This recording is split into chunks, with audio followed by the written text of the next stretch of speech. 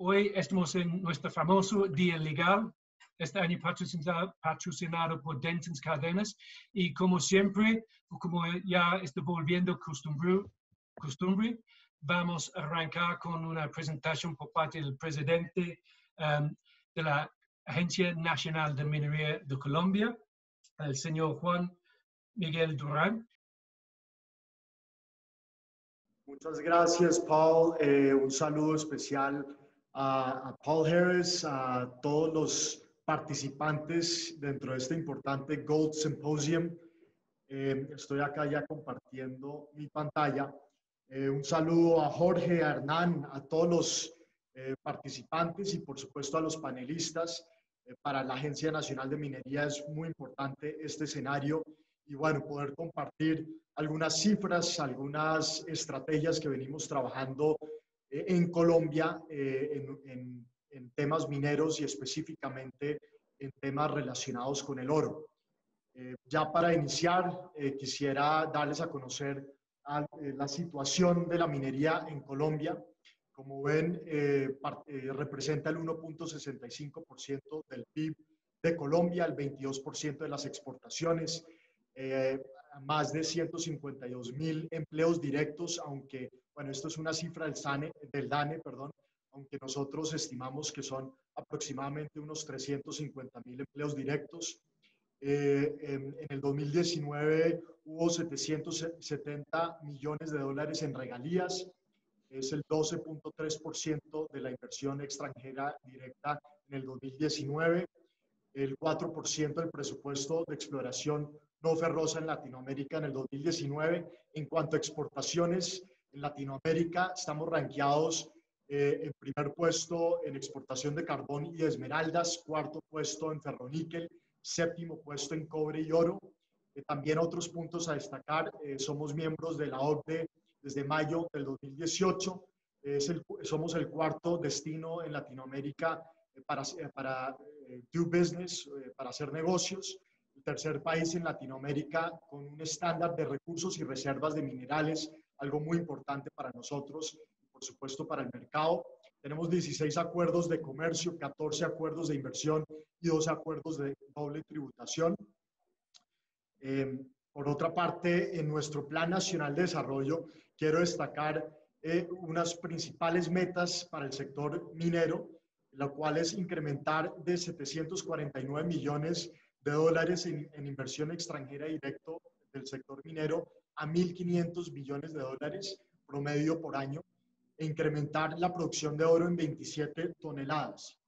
Por otra parte, también destacar, como mencioné anteriormente, que la minería aporta un 1.65% del PIB eh, del 2019. Oro y metales representan el segundo lugar en el PIB minero con un 19%.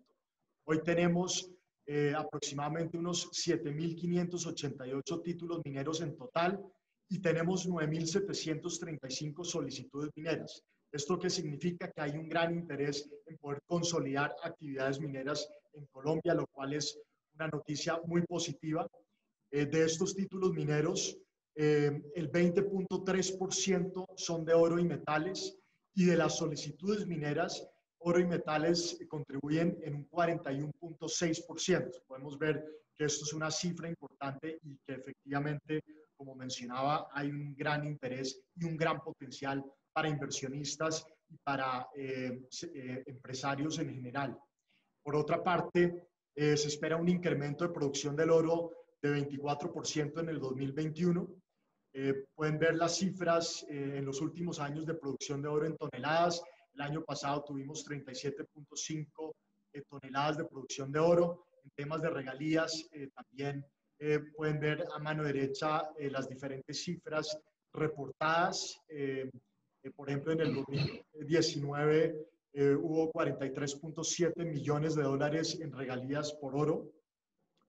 También es de destacar que eh, los países que concentran las exportaciones de oro son cinco países y acá pueden ver un poco que Italia contribuye en un 34%, Estados Unidos en un 26%, Suiza en un 7% y así sucesivamente el, 77, el 78% de exportación de oro de Colombia y también para destacar, las exportaciones de oro representan el 4.4% del total nacional, el 21.2% de las exportaciones mineras del, del año pasado. la producción de oro colombiano representó más del 6% de la producción de Latinoamérica. Y en temas de recursos y reservas, podemos ver que en las 17 principales proyectos auríferos, eh, y esto según normas internacionales de información, tenemos aproximadamente 16.6 millones de onzas eh, en recursos medios e indicados, 14.3 millones de onzas en recursos indicados, 54.1 eh, millones de onzas en recursos inferidos, 5.8 millones de onzas en reservas probadas y probables, y 7.5 millones de onzas en reservas probables. Eh, yo quiero también destacar una eh, estrategia, una línea de acción que hemos iniciado en estos últimos meses, eh, que llevo yo como presidente de la Agencia Nacional de Minería. es una estrategia enfocada en cuatro ejes. El primer eje es la eficiencia, el segundo eje es la efectividad, el tercer eje es la diversificación y el cuarto eje es la desmitificación. Estos ejes eh, se los estaré explicando un poco más en detalle, eh, pero el primer eje yo quiero centrarme en dar un mensaje muy importante y es frente a la eficiencia en los trámites. Estamos trabajando 24/7 con equipos reforzados para poder cumplir con todo lo que está en la Agencia Nacional de Minería pendiente en los últimos años eh, y la meta es poder lograr el 100% de la gestión que dependa de nosotros. Por supuesto que hay temas relacionados ya con autoridades ambientales, con temas judiciales, pero todo lo que dependa de la Agencia Nacional de Minería estamos trabajando día y noche y efectivamente estoy haciendo yo personalmente eh, una supervisión de los avances en estas gestiones. Para nosotros es fundamental poder responderle a las solicitudes, responderles a, los diferentes trámites que tenemos en la agencia y en ese sentido estamos eh, dando eh, todo lo, que está en nosotros para poder cumplir este año con ese 100% de gestión y que podamos estar nivelados para que el año iniciamos en una dinámica eh, de total eficiencia y respuestas en este sentido.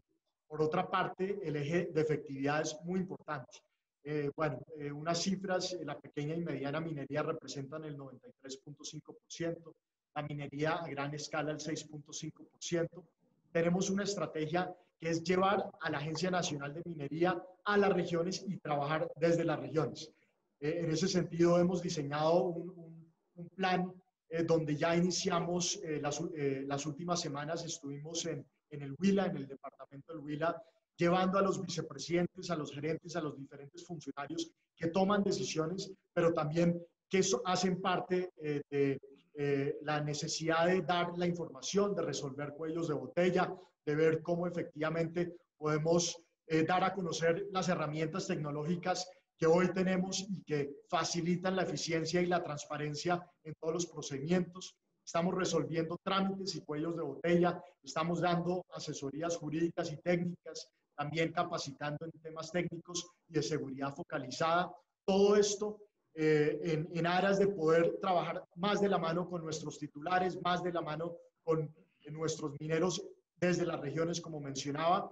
Y esto eh, ha sido de, eh, pues una, una estrategia de un impacto muy positivo, porque se ve la cercanía de la agencia con los sectores mineros, porque se ve un relacionamiento muy cercano con las entidades territoriales, las gobernaciones, los alcaldes, las, las corporaciones autónomas regionales, eh, todas las, las, entidades que tienen que ver precisamente con resolver eh, los cuellos de botella. Inclusive estamos eh, de la mano con el SENA, estamos de la mano con entidades como la unidad, la, la unidad administrativa especial de organizaciones solidarias para ver cómo fortalecemos las, las, la visión empresarial de nuestros mineros, pero también estamos eh, generando eh, sesiones de coordinación y concurrencia, audiencias públicas, adelantando las, las que están ya listas para realizar estos, eh, esta parte del trámite de las solicitudes nuevas.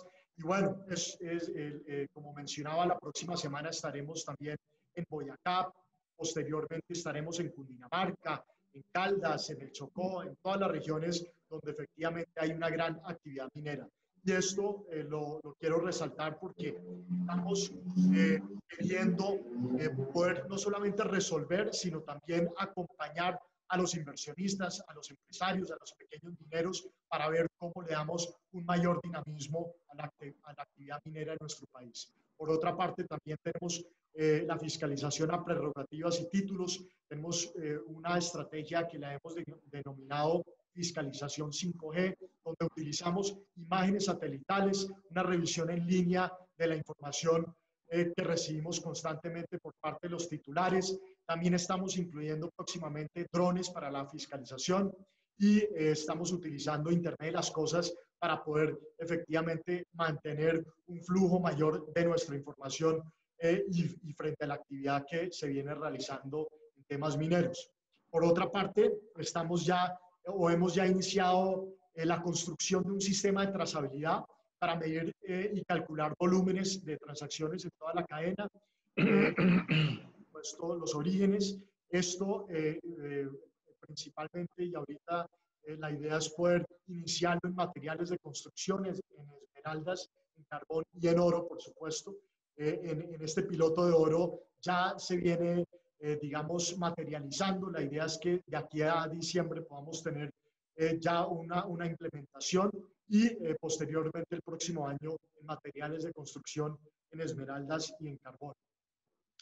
Por otra parte, en el tercer eje, que lo hemos denominado diversificar la canasta minera, tenemos ya varias estrategias que venimos trabajando y que próximamente ya se estarán materializando. Eh, en el sector del, del, eh, del, carbón tenemos una estrategia que hemos denominado carbón neutro, una estrategia para lograr una mayor competitividad del carbón térmico, eh, generando compensaciones de emisiones de carbón en el mundo y pudiendo realmente poder entrar de forma más competitiva a otros mercados. esta estrategia la venimos elaborando ya con, con, con los gremios, venimos socializando de qué se trata la estrategia y la idea es poderla lanzar en enero del próximo año. Por otra parte, también tenemos nuestras rondas mineras. Esto es histórico en el sector minero. Eh, vamos a, empezar con eh, las primeras rondas mineras en enero eh, del próximo año en temas de cobre.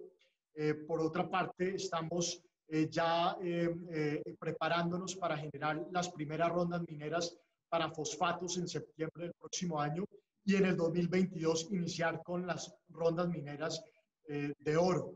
Estas rondas mineras las, venimos trabajando a través de las áreas estratégicas mineras, donde ya venimos también socializando eh, los términos de referencia, las grandes oportunidades que esto va a significar para inversionistas nacionales e internacionales con las mejores condiciones, eh, donde efectivamente vamos a dar a conocer bloques y de ahí se va a generar una especie de subasta para para ver quiénes son los interesados habilitados. Son dos escenarios. Uno es de habilitación y la otra es ya de las subastas como tal.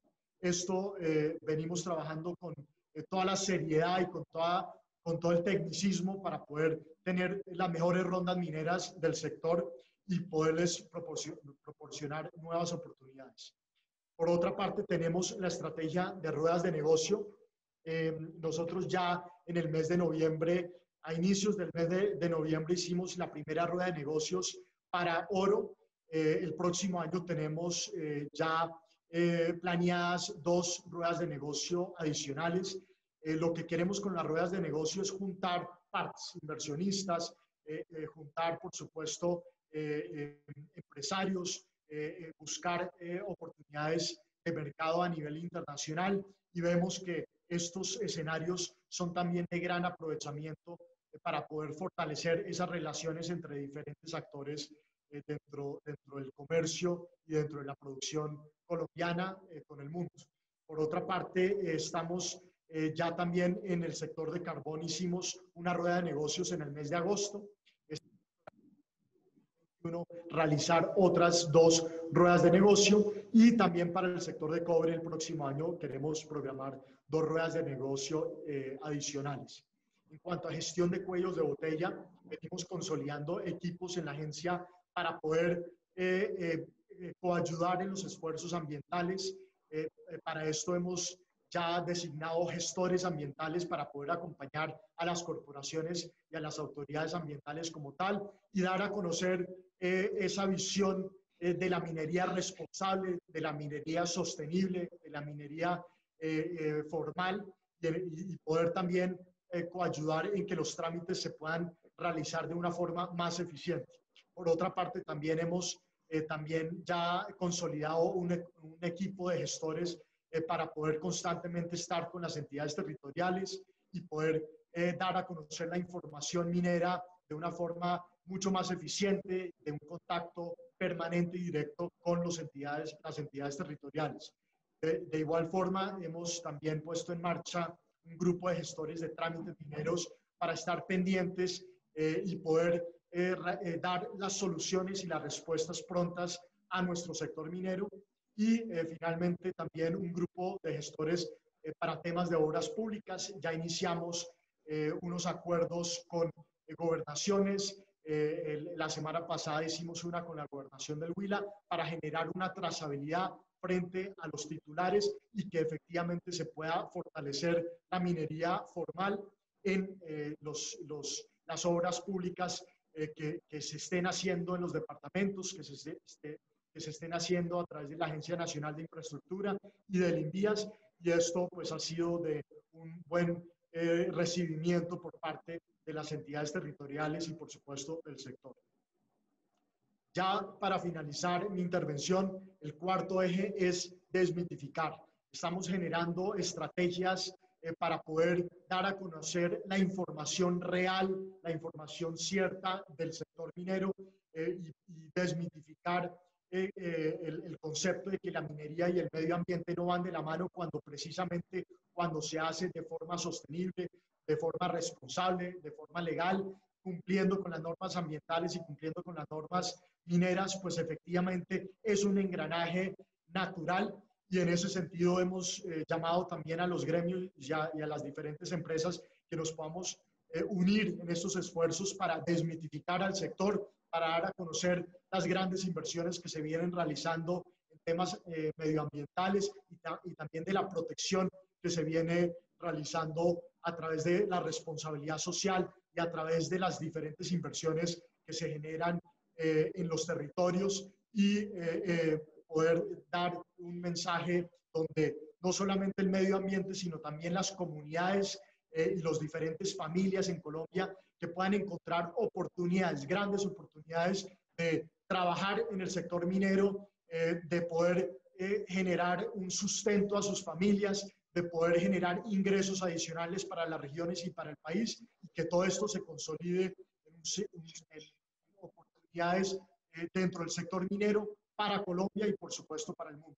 Entonces, eh, agradezco este espacio que nos han dado eh, para la Agencia Nacional Minera de poder compartir estas cifras, estas estrategias. Y mi último mensaje es que desde la agencia estamos trabajando para seguir consolidando eh, y materializando estas grandes oportunidades que tenemos en nuestro país de forma responsable con el medio ambiente, de forma responsable con las comunidades y, por supuesto, dando a conocer eh, ese dinamismo económico eh, que se materializa finalmente en grandes oportunidades para inversionistas, pero también para muchas comunidades y muchas familias en nuestro país. Muchísimas gracias. Muchísimas uh, gracias, Juan Miguel. Um, si, si, me puedo, tenemos un par de minutos y si puedo hacerte un par de preguntas que han uh, llegado. Um, buenas noticias sobre las rondas el próximo año. Um, ¿Puedes hablar un poco sobre cuál será la estructura de las rondas? O sea, ¿qué, qué estás um, invitando inversionistas para hacer? el concepto es que ellos hagan como una oferta, un monto tal y en plan de trabajo tal, o cuál es el concepto? Así es. Bueno, para explicar un poco el tema de, de las rondas mineras, nosotros venimos trabajando jurídicamente y técnicamente para poder establecer unos términos de referencia que pronto eh, estarán, digamos, publicados por parte de la agencia para que todos los puedan conocer en detalle.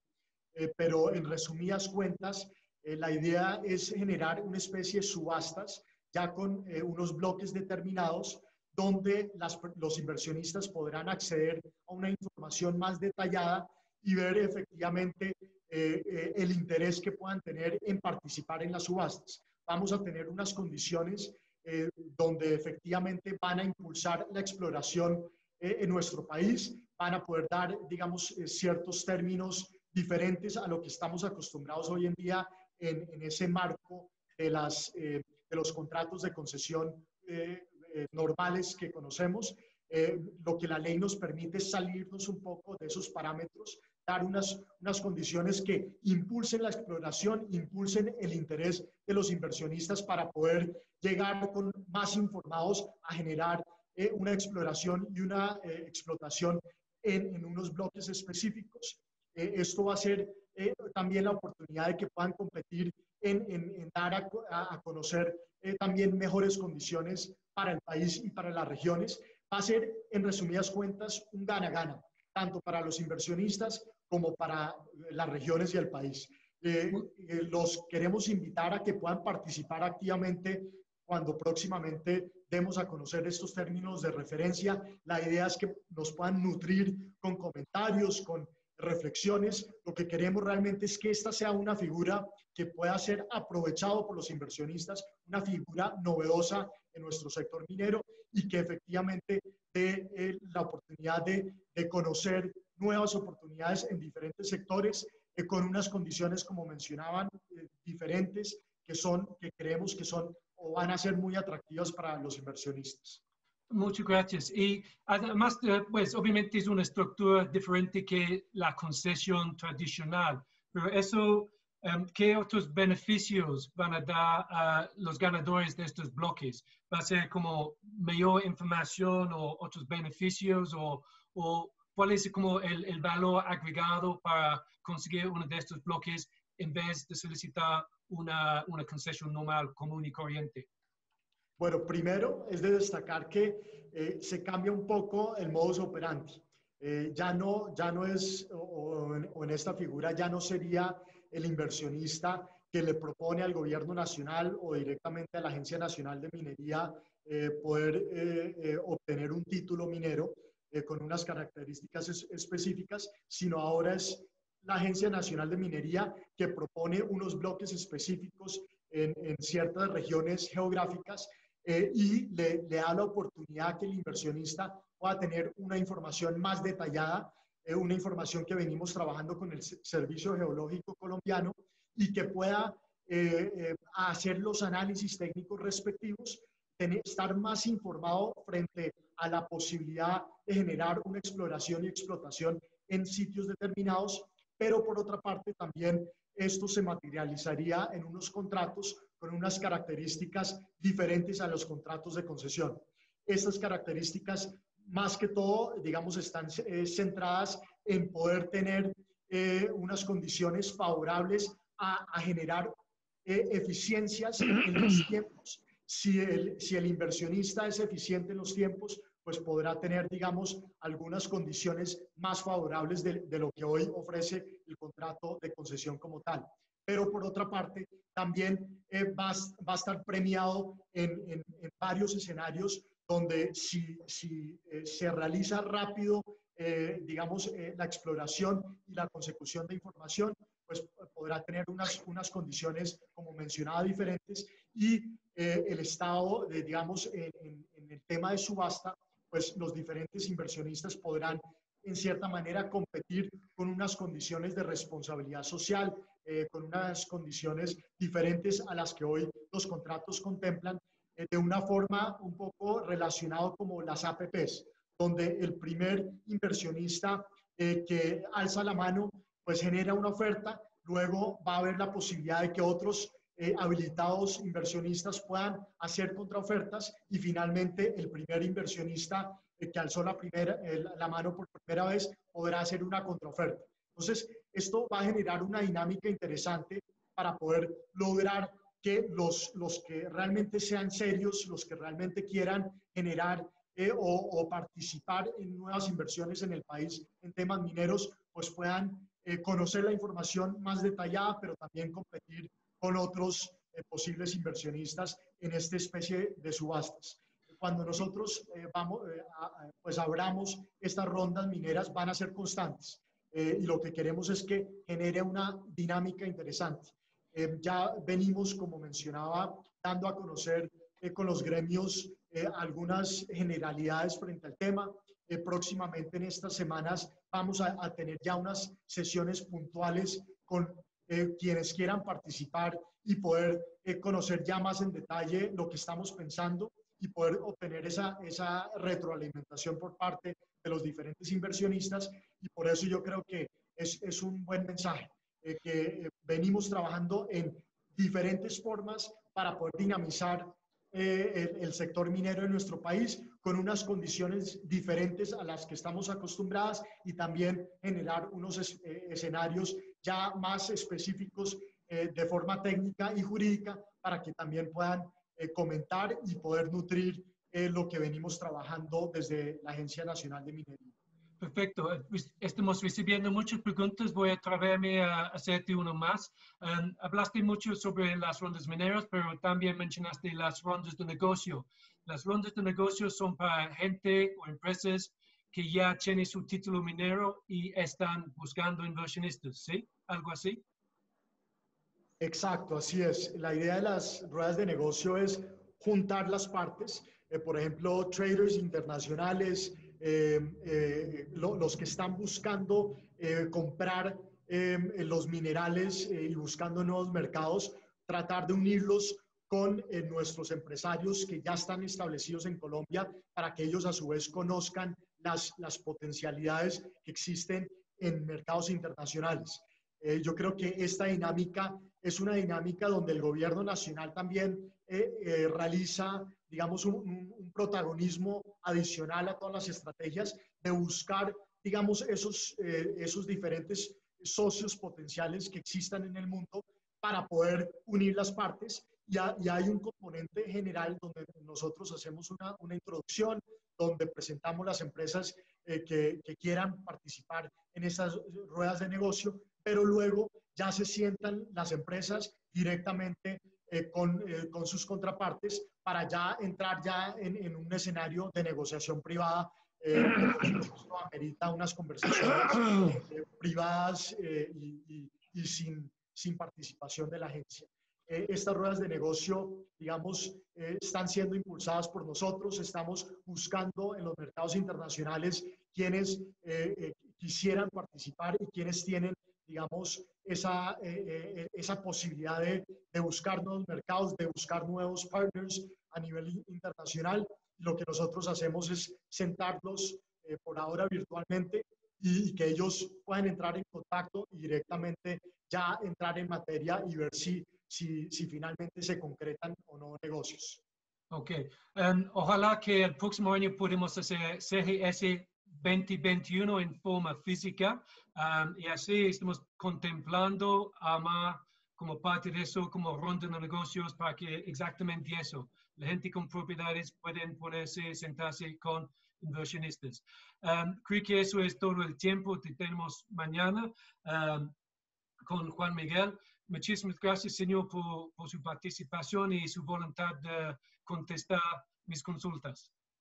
Paul, muchas gracias por, esta, por este espacio. Para nosotros es muy importante. Eh, como bien sabemos, Colombia es un país con un potencial minero gigantesco. Estamos en la diversificación de la canasta minera. Para nosotros el oro es, por supuesto, de esos minerales donde estamos enfocando todos los esfuerzos para realmente materializar estas grandes oportunidades. La invitación es que la Agencia Nacional de Minería es una agencia abierta a poder acompañar, a poder dar información, a poder realmente eh, ser unos buenos partners para consolidar las oportunidades y, por supuesto, generar todos los escenarios y espacios necesarios eh, para que los inversionistas y para que los mismos titulares puedan, eh, podamos trabajar de la mano entre el gobierno nacional y el sector privado. Muchísimas gracias y un eh, feliz día para todos.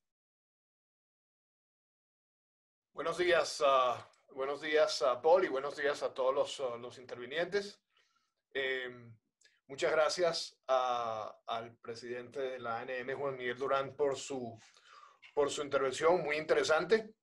la verdad es que para nosotros en Dentons, Cárdenas y Cárdenas y para Dentons en general en Latinoamérica eh, ha sido un placer ser sponsors de este evento eh, durante, durante los años eh, en que se ha realizado. Hemos visto que este evento ha tenido una, una progresión, una evolución muy importante y que es uno de los eventos de inversión más importantes de Latinoamérica en este momento.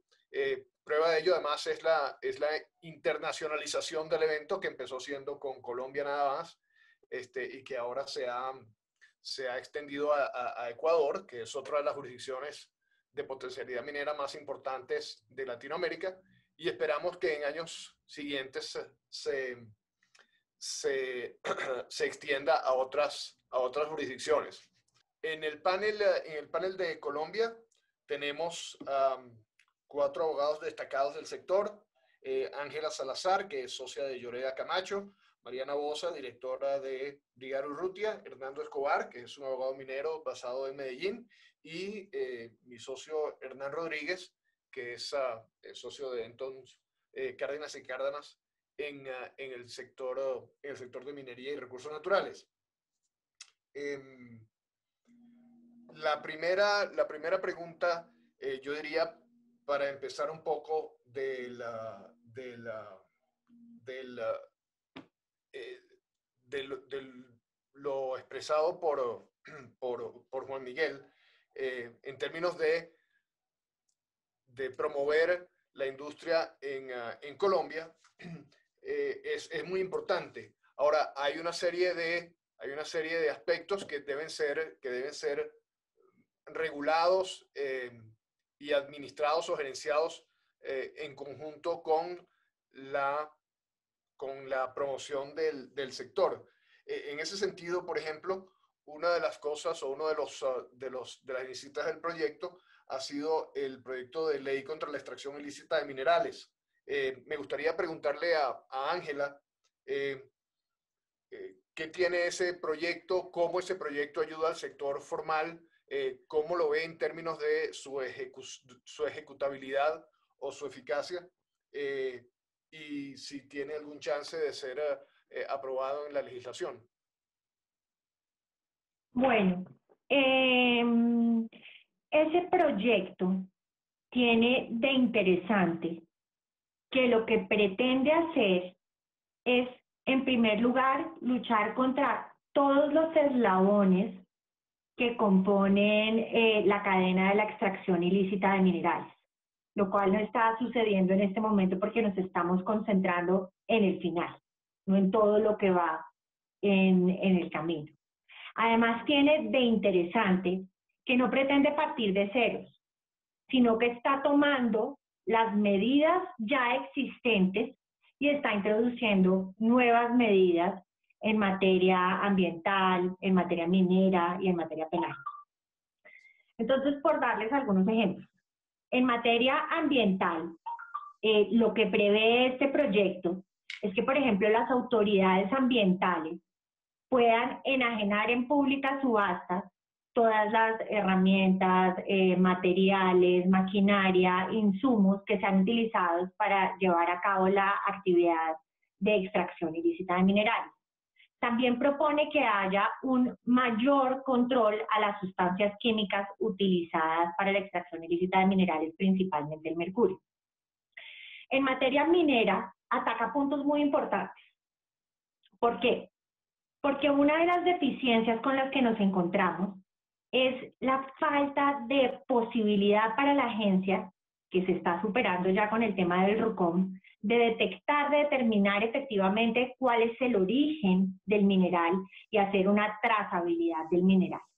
Y de otro lado, también está dándole herramientas a la fuerza pública para poder combatir este plagio. Entonces, desde el punto de vista de trazabilidad, eh, propone soluciones como que se registren, por ejemplo, los contratos de operación minera en el Registro Minero Nacional, lo cual no ocurre en la actualidad propone también multas para aquellos eventos en que se exceda la producción de acuerdo con lo que está establecido en el PTO. Propone mayores controles para la producción y comercialización de minerales como la plata, el oro, el platino, el tungsteno, etc. y desde el punto de vista de darle más dientes a las, a las, a las autoridades públicas, a la fuerza pública, está dándole la posibilidad a la policía de incautar los minerales y las, y las maquinarias que no cumplan con los requisitos de ley y ponerlo eh, a disposición eh, de la Asociación de Activos Especiales para que esta entidad se encargue de administrarlos y de su posterior venta. Y algo que me parece muy importante y que nos está haciendo falta en este momento es que se le está dando la posibilidad a la fuerza pública de realmente cerrar las bocaminas que no cuentan con título y está estableciendo un procedimiento para que lo hagan. En materia penal también se me hace que está haciendo cambios importantísimos, está proponiendo cambios muy importantes, eh, porque en primer lugar está perfeccionando los tipos ya existentes y está aumentando las penas contempladas en estos. Entonces, por ejemplo, en el, tipo penal denominado exploración y explotación ilícita de minerales está aumentando la pena de 32 meses a 60 meses.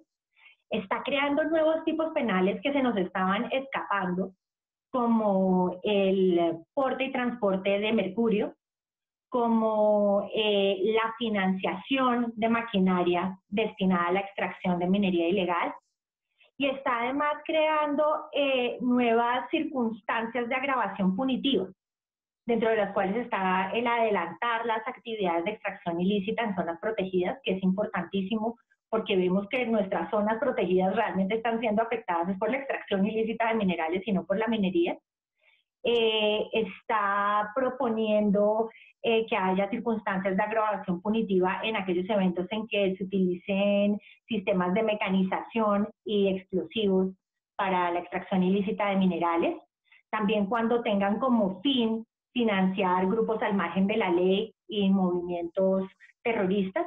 Y algo también muy importante porque como sabemos que el control en Colombia de estas actividades es llevado a cabo por las alcaldías, eh, que en aquellos eventos en que esté involucrado un funcionario, ya sea por acción o omisión, también haya un agravante. Entonces, ¿cómo veo estas medidas? Realmente las veo todas muy positivas para el sector minero formal. Y las veo muy positivas porque, porque como tú dijiste, Jorge, eh, desafortunadamente en el imaginario popular, las consecuencias nefastas de esta actividad ilegal se confunden con las consecuencias de la minería. Y en esa medida, cualquier medida que se tome para erradicar este flagelo debe redundar en beneficio de la industria minera.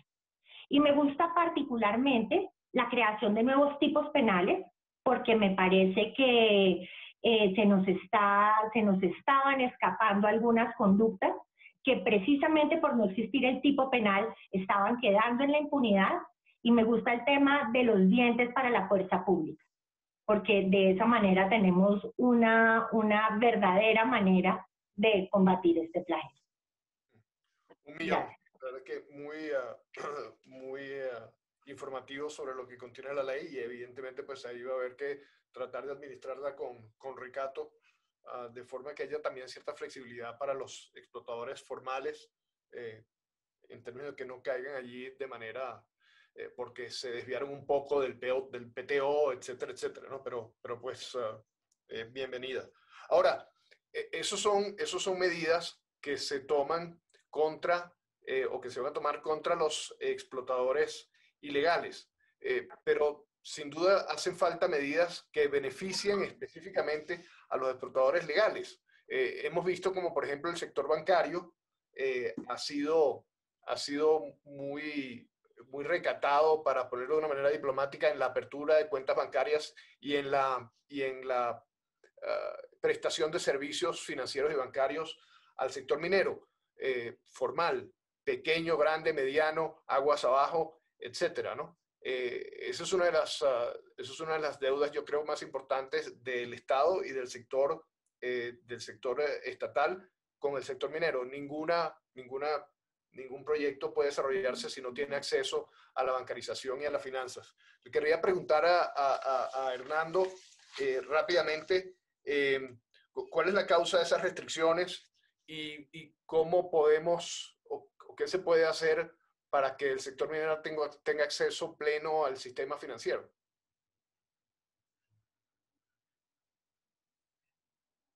Estás en mute. Ok. Sí, correcto. La causa de esas restricciones básicamente ha sido el lavado de activos y eso ha generado una especie de reacción histérica. Es decir, de, de hacer una revisión detallada, se pasó al bloqueo completo del sector. Eso es algo tan cuestionable como si cuando ocurrió en Colombia lo de Interbolsa o lo de Bernard Madoff en Nueva York, se hubiera generado un movimiento para retirar todos los dineros de las captaciones de las entidades financieras. Eso no deja de ser una respuesta absolutamente histérica. ¿Y qué se puede hacer? Lo primero es entender lo siguiente. La Dirección General de la Economía está a cargo del Estado y no de los bancos. En el pasado, en Estados Unidos, JP Morgan como prestamista tenía contra la pared al gobierno de Estados Unidos y en la época de Teodoro Roosevelt nació el Banco de la Reserva Federal y empezaron a generar un sistema donde era el Estado el que controlaba la economía y no un banco particular, que es lo que está pasando aquí en este momento. Los bancos en particular están ejerciendo una especie de control excesivo y bloqueando un sector completo, porque es que no es que estén generando dificultades, no, está dicho claramente que la política de los bancos es no abrirle cuentas bancarias al sector minero. Entonces, lo, segundo que hay que entender es que las actividades financieras fueron declaradas de interés público por el artículo 335 de la Constitución y sujetas a la intervención del Estado. Entonces es muy claro que, que, el artículo 334 de la Constitución establece la Dirección General de la Economía a cargo del Estado, no de los bancos, y que las actividades financieras se pueden intervenir y se consideran de interés público, o sea que la autonomía y la voluntad contractual de un banco está condicionada a los derechos de los consumidores. Ellos no pueden decir yo no abro la cuenta como si se tratara de una ferretería, de un local comercial. No, en este caso, ellos no pueden sino exigir un due diligence y si la gente cumple los requisitos, pues tienen que abrir la cuenta. Yo pienso que está muy claro que, que en este momento se requiere no de seguir con una actitud de plañideras con los bancos, sino decirle a la superintendencia financiera, que es la autoridad competente, que ordene la apertura de cuentas, porque la gente ya cumplió con los requisitos, se hizo un due diligence es muy posible que inclusive no le reciban los documentos, pero entonces la superintendencia financiera debe actuar. Para eso existe. Yo pienso que es cuestión de que el Estado eh, haga respetar los derechos fundamentales de los usuarios del sector, que se consideran vulnerados, dice la Corte Constitucional en una sentencia 493 de 2003, cuando ocurre un bloqueo financiero injustificado. Eso es lo que está pasando. Entonces yo creo que el asunto es bastante fácil de resolver. Se requiere simplemente las quejas a la superintendencia financiera o las solicitudes de intervención. Ok, gracias. Bueno, ahí, eh, Juan Miguel le está, está oyendo este, y, yo, y yo sé que este es, un, eso es un clamor también que le ha llegado de parte de la ACM, pero es muy importante porque nosotros tenemos experiencias en las que compañías mineras canadienses listadas en la bolsa no pueden acceder a abrir una cuenta ni a enviar recursos eh, financieros a sus, a sus operaciones en Colombia por estas, uh, por estas limitaciones. A ver, entonces, eh, eh, tenemos, tenemos, hemos visto muchas preguntas, eh, tanto durante la exposición de Juan Miguel como, como ahora, sobre, em, sobre el otorgamiento de derechos mineros, los tiempos que se toma el otorgamiento de esos derechos mineros, etcétera, etcétera. ¿no? Y hemos visto que efectivamente durante los últimos años el otorgamiento de derechos mineros eh, ha, sido, ha sido muy escaso, es decir, se han otorgado muy pocos títulos mineros, ¿no? Eh, básicamente por los procesos, por la incertidumbre sobre los procesos de consultas eh, y sobre temas de zonificación, ¿no? Em, el Ejecutivo entiendo que introdujo este proyecto de ley de coordinación y concurrencia que, que, pretende un poco desentrabar, desentrabar ese tema em, y permitir el establecimiento de los procesos de, de, consulta eh, y eh, de otorgamiento de concesiones de una manera más o menos fluida. Eh, Hernán, ¿tú nos puedes comentar un poco qué contiene esa ley, cómo la ves tú funcionando y si, y si, y si es posible que, que realmente destrabe el otorgamiento de derechos?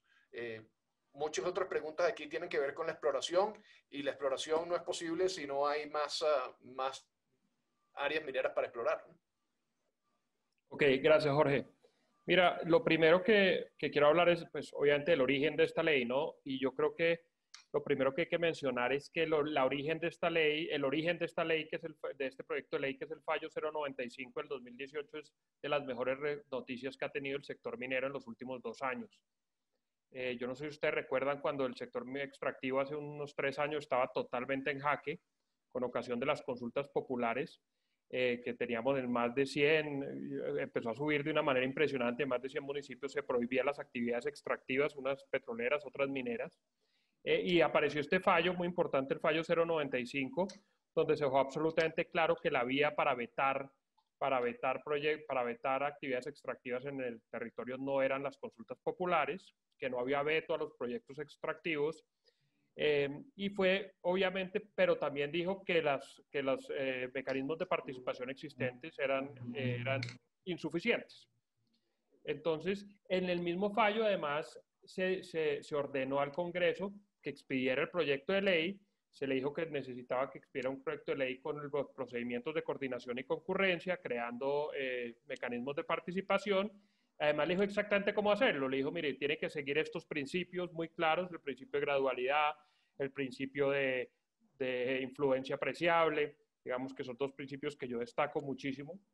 No sé si ustedes recuerdan, pero era muy difícil que una autoridad en Colombia, y acá estamos hablando de la Corte Constitucional, hablara del principio de gradualidad, es decir, que, que, reconociera que la exploración es una cosa y la explotación otra, y que los impactos no son los mismos. Y esto lo hizo la Corte Constitucional, y esto es de las cosas que yo más rescato de ese fallo para estos efectos, y el de influencia apreciable diciendo, mire, cuando ustedes socialicen con la comunidad, cuando haya un mecanismo de participación, pues las preocupaciones tienen que tener influencia en las decisiones. Esto no es simplemente para que nos cuenten qué les está pasando, sino de alguna manera esto se tiene que reflejar en los contratos de concesión, se tiene que reflejar en, las decisiones que se tomen. Entonces, le, dice, le dice, la Corte le dice al gobierno y al Congreso qué hacer. Y dicho esto, pues eh, arrancó muy enérgico el, el, gobierno nacional el año pasado con esto, tal vez el año antepasado ya. Nosotros desde el gremio trabajamos mucho en el proyecto de ley. El Ministerio de Minas trabajó muchísimo en el tema. De hecho, hubo una cantidad de presentaciones, reuniones a, grupos de interés, iba muy avanzado y de pronto se estancó. Eh, yo diría por pandemia, yo diría por otras prioridades, eh, y esto, pues, digamos, me parece grave. Y al final, al final lo que terminó sucediendo, y acá una precisión, Jorge, el proyecto de ley no lo presentó el Ejecutivo, el proyecto de ley lo terminó presentando el magistrado Hernando, el, el magistrado, perdón, el honorable representante Hernando, eh, Hernando Vergara, que es de Cambio Radical. Él terminó presentando el proyecto de ley y, lo acaba de presentar. Y, sobre el proyecto, ¿qué, ¿qué, puedo decir? Digamos, el proyecto de ley eh, trata de reflejar los principios de la Corte, creo que, que, deja clarísimo que no hay veto a los proyectos mineros, eh, regula también el tema de ordenamiento territorial, que es muy importante para que el, ordenamiento territorial no sea la vía para prohibir eh, las, los proyectos mineros en el territorio. Incluye instrumentos de coordinación y concurrencia o incluye como instrumentos de coordinación y concurrencia unas mesas generales y particulares donde participan las autoridades nacionales y las autoridades regionales, pero adicionalmente incluye un mecanismo de participación que son las audiencias públicas regionales, respetando el principio de gradualidad. O sea, no le da la misma importancia al tema de exploración que a las que ya entran en explotación. Estas, serán, estas tienen que ser reglamentadas. Que si tiene problemas el proyecto, sí, sí, tiene problemas de técnica legislativa, digamos, porque mezcla ordenamiento territorial con otro, con el tema de las decisiones sobre el subsuelo. Entonces, hay unos temas de ordenamiento territorial que tienen reserva orgánica, otros temas son ley estatutaria. Hay que trabajar en eso. Mantiene los protocolos de las agencias. Entonces, si, si el protocolo de la ANM no se modifica, pues no hacemos nada con la ley. Entonces, sí tiene unos problemitas, pero en, en, en términos generales, refleja, el proyecto refleja el fallo y es muy bien intencionado, hay que trabajarle, por supuesto, y eso hay oportunidad de hacerlo. Ahora, ¿qué me preocupa? Eh, estuve en la última audiencia, se hizo una audiencia pública de ese proyecto, eh, donde había, donde todas las intervenciones fueron, por supuesto, de antimineros y una intervención del gobierno, la verdad, me pareció un poco floja, tengo que ser, o sea, no me pareció que estuviera defendiendo el proyecto y sobre todo defendiendo el concepto. ¿Me explico? Entonces, eh, volvieron a aparecer términos de concertación, que era un término que ya lo habíamos superado, volvió a aparecer el tema de, de área de influencia, que no tiene por qué el Ministerio de Minas y la Agencia Nacional de Minería liderar estos temas. Entonces, yo, y me parece que el gobierno no fue suficientemente vehemente defendiendo el concepto, y para ser honesto, tampoco había gente de la industria defendiendo este proyecto. Entonces creo que lo que va a suceder es que esto se va a archivar y va, van a presentar un nuevo proyecto, lo cual me parece una lástima si no aprovechamos esta oportunidad. Y el mensaje es voluntad política para el gobierno. Esto es una gran oportunidad y Jorge, ahorita que tú tienes la oportunidad con nuestros amigos del Ecuador, por favor, si puedes, pregúntales lo que ellos están viviendo por un fallo en cuanto a consultas populares totalmente opuesto al nuestro. Entonces, si nosotros tenemos un fallo a favor por primera vez en la vida, pues vamos, usémoslo. Y entonces este es como mi mensaje para el gobierno, que pena me alargue un poco. Pero... Gracias, Hernán. Sí, la verdad es que sí, Cuenca es un, uh, es un uh, tema, es un tema obligado en el panel con Ecuador. Ahora, tú dijiste una cosa muy importante, que esto de nada sirve si los protocolos de la ANM este, no, eh, no están uh, up to standard. Y eh, evidentemente Juan Miguel nos conversó sobre, sobre la eficacia eh, en los trámites eh, eh, y el esfuerzo que está haciendo la, la, la, ANM en, en, reforzar su personal y sus, y, sus, y sus procesos. Ahora, yo creo que un, una, un, paso muy importante en este sentido ha sido la implementación del sistema de ANA Minería. Y quería preguntarle a Mariana eh, cómo ha visto, cómo ha visto que, que ya tiene un tiempo, cómo ha visto esa implementación, si ha visto algún glitch, eh, eh, han mejorado los tiempos de respuesta, eh, eh, cuál, es, cuál es el assessment en este momento de en qué ha sido bueno, en qué ha sido malo y qué le falta por mejorar. Gracias por la pregunta, Jorge, súper relevante. Y un saludo a mis copanelistas. Siempre rico compartir panel con ustedes. bueno, yo creo que es importante destacar, recordar que es Ana Minería. Ana Minería es una plataforma integral transaccional que fue creada por la Agencia Nacional de Minería en ejecución del Plan Nacional de Desarrollo 2015. Entonces, que hablaba de establecer una cuadrícula minera y además viene un poco de estos eh, lineamientos que internacionalmente le han dado al gobierno colombiano, por ejemplo, del Banco Mundial, que también decía hay que tener un catastro minero que sea transparente, que sea eficiente y que sea transaccional, que no sea simplemente un catastro en el cual uno entra, verifica a ver qué existe y ya está. Entonces, en este sentido, Ana Minería comenzó a funcionar en enero después de alargar bastante la entrada en vigencia de, perdón, de la plataforma. Y es una plataforma a través de la cual cualquier titular minero puede ingresar una vez que se registra, y esto ha sido uno de los glitches principales que se han presentado, todo el tema de registro. Se han realizado una cantidad de capacitaciones, eh, numerosas capacitaciones en todo el país. En eso sí se ha forzado la Agencia Nacional de Minería tratando de capacitar a la gente para hacer los registros, pero en el mismo tema de los registros, que permite no solamente registrar al, titular minero eh, como, como empresa, sino a los diferentes eslabones de la cadena que están relacionados con él, es decir, representantes legales, los geólogos, los ingenieros, eh, los asesores, los consultores, los auditores. Y en estos registros nos hemos tardado bastante, porque a veces se presentan algunos inconvenientes. Sin embargo, debo decir que la voluntad de la Agencia Nacional de Minería en seguir capacitando y formando a, a los titulares mineros y a la gente que está encargada de hacerlo ha sido fundamental. Otro de los puntos fundamentales que, que, tiene Ana Minería es esta unificación de la información minero-ambiental. Y es algo que nosotros teníamos una larga deuda eh, de hacer, porque básicamente esto permite que no se puedan solicitar de una vez títulos mineros en áreas que se encuentren ambientalmente restringidas. ¿Qué es lo que sucedía anteriormente? Tú solicitabas un área y luego, dependiendo del tipo de restricción que existía, tenías que o recortar o restringir las operaciones. Hoy en día, en principio, no se pueden solicitar concesiones en áreas que se encuentran ambientalmente restringidas. Aquí es importante destacar que, a pesar de que existe esta superposición de capas minera ambiental, recordemos que en Colombia tenemos todavía una deuda pendiente en delimitación de algunas eh, áreas restringidas en, temas ambientales. Así que esto em, todavía tiene un, un tip por ahí. Y, básicamente otro de los problemas que se han presentado es normal, en temas de funcionamiento, eh, por ejemplo, hay áreas que dicen que están libres cuando no lo están, áreas que eh, se muestran como ocupadas y realmente están libres. Eh, y por supuesto, yo creo que uno de los, de los temas más difíciles con los que hemos tenido que lidiar es el tema de adaptarnos a la cuadrícula.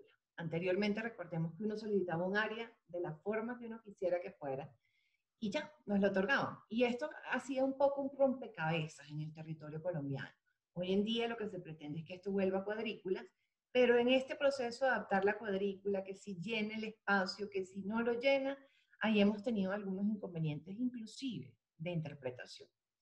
Pero yo quiero destacar que es una buena iniciativa, que habla un tema de transparencia eh, hacia donde estamos orientados eh, y además es, es, transaccional. Yo creo que tener una plataforma que te permite en un solo sitio solicitar la concesión, solicitar sesiones, eh, presentar los formatos básicos mineros, cuando entre en el total funcionamiento perfecto que estamos encaminados a ellos, va a ser un paso más para el fortalecimiento y la robustez del sector minero en Colombia.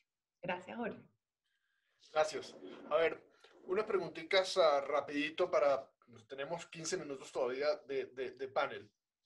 En ese sentido, por ejemplo, eh, por ejemplo, eh, Hernán, una de las preguntas importantes eh, eh, que, que, que, estoy viendo en el, en el, en el, en el panel de preguntas y respuestas es eh, eh, cuánto se toma una concesión, cómo va a funcionar, aunque ya lo explicó poco Juan Miguel, el sistema de, el sistema de, de, eh, rondas, de rondas mineras, si eso se ha visto en otros sitios, cómo funciona eso para áreas que son greenfields o esas áreas van a ser brownfields. Rapidito, Hernán. Bueno, la pregunta de rondas mineras, ahí no quiero ser el malo de la película, pero lo primero que te digo es que me parece que el proyecto de las rondas ha sido un proyecto muy bien intencionado y, con, y, se ha estructurado de manera seria con muy buenos asesores. Ahora, dicho esto, me parece, y como comentario y crítica constructiva, tengo lo siguiente. Lo primero es que uno no puede eh, eh, comparar el tema de las rondas petroleras con el tema de las rondas mineras y el proceso de rondas mineras con lo que conocemos, porque no han publicado los documentos, pero están en presentaciones, es básicamente el mismo tema de rondas petroleras en el esquema y en la estructura. Esto claramente es distinto porque las dinámicas son muy distintas. Entonces esto hay que revisarlo. Adicionalmente, ahí se debe tener en cuenta por qué estos procesos han fracasado en el mundo porque en todo el mundo han fracasado y han fracasado básicamente porque ponen a competir al Estado con los inversionistas. Y esto es un error. Uno no puede poner a competir al Estado con los inversionistas porque eso genera bloqueo de áreas. Pues nosotros ya cuántas áreas estratégicas tenemos bloqueadas por Consejo de Estado, pero eso es otro tema. Bloqueo de áreas, toma de decisiones frente a títulos mineros otorgados y, y, uno, ellos no pueden competir, entonces hay que tener muchísimo cuidado que esto no va a suceder porque además esto genera corrupción desafortunadamente. Adicionalmente, en Colombia, ¿por qué fracasaron estos proyectos? Porque en Colombia, y el doctor Hernando lo sabe perfecto, ya hubo proyectos de áreas de inversión del Estado, 2007, 2009, y todos fracasaron. Ejemplos, Pantanos, Taraira y Acandí. Ninguno hoy es un proyecto. ¿Y por qué fracasaron? Porque no había viabilidad ambiental y social. Entonces, creo que en este proyecto, por ejemplo, acá tienen que hacer, para declarar estas áreas van a hacer consultas previas, de una vez que viabilicen los proyectos a través de las consultas previas aparentemente no se puede, yo creo que sí se puede. Aparentemente no se puede vincular a las autoridades ambientales, yo creo que sí se puede. Para eso son los convenios interadministrativos. Entonces yo sí creo que, que si se quiere hacer, porque ya sé que se va a hacer, porque es un tema de política, eh, hay, hay que mejorar un poco de cosas. Último tema, incentivos a la exploración en las rondas mineras. Se establece que va a haber un periodo anterior al periodo de exploración para que los, para que los inversionistas decidan si les gusta o no eso tiene, digamos, un doble sentido porque quiere decir que solamente en ese periodo pueden renunciar sin penalidad, pero después ya no pueden renunciar sin penalidad, que es un principio básico de la minería en Colombia y de los exploradores. El tema de compromiso e inversión, lo que ahora es un estimado, se va a volver un compromiso, como el tema petrolero. Entonces, hay unos temas que se deben revisar y tenemos la experiencia internacionales para, para revisarlo. Entonces, eh, ese sería mi mensaje.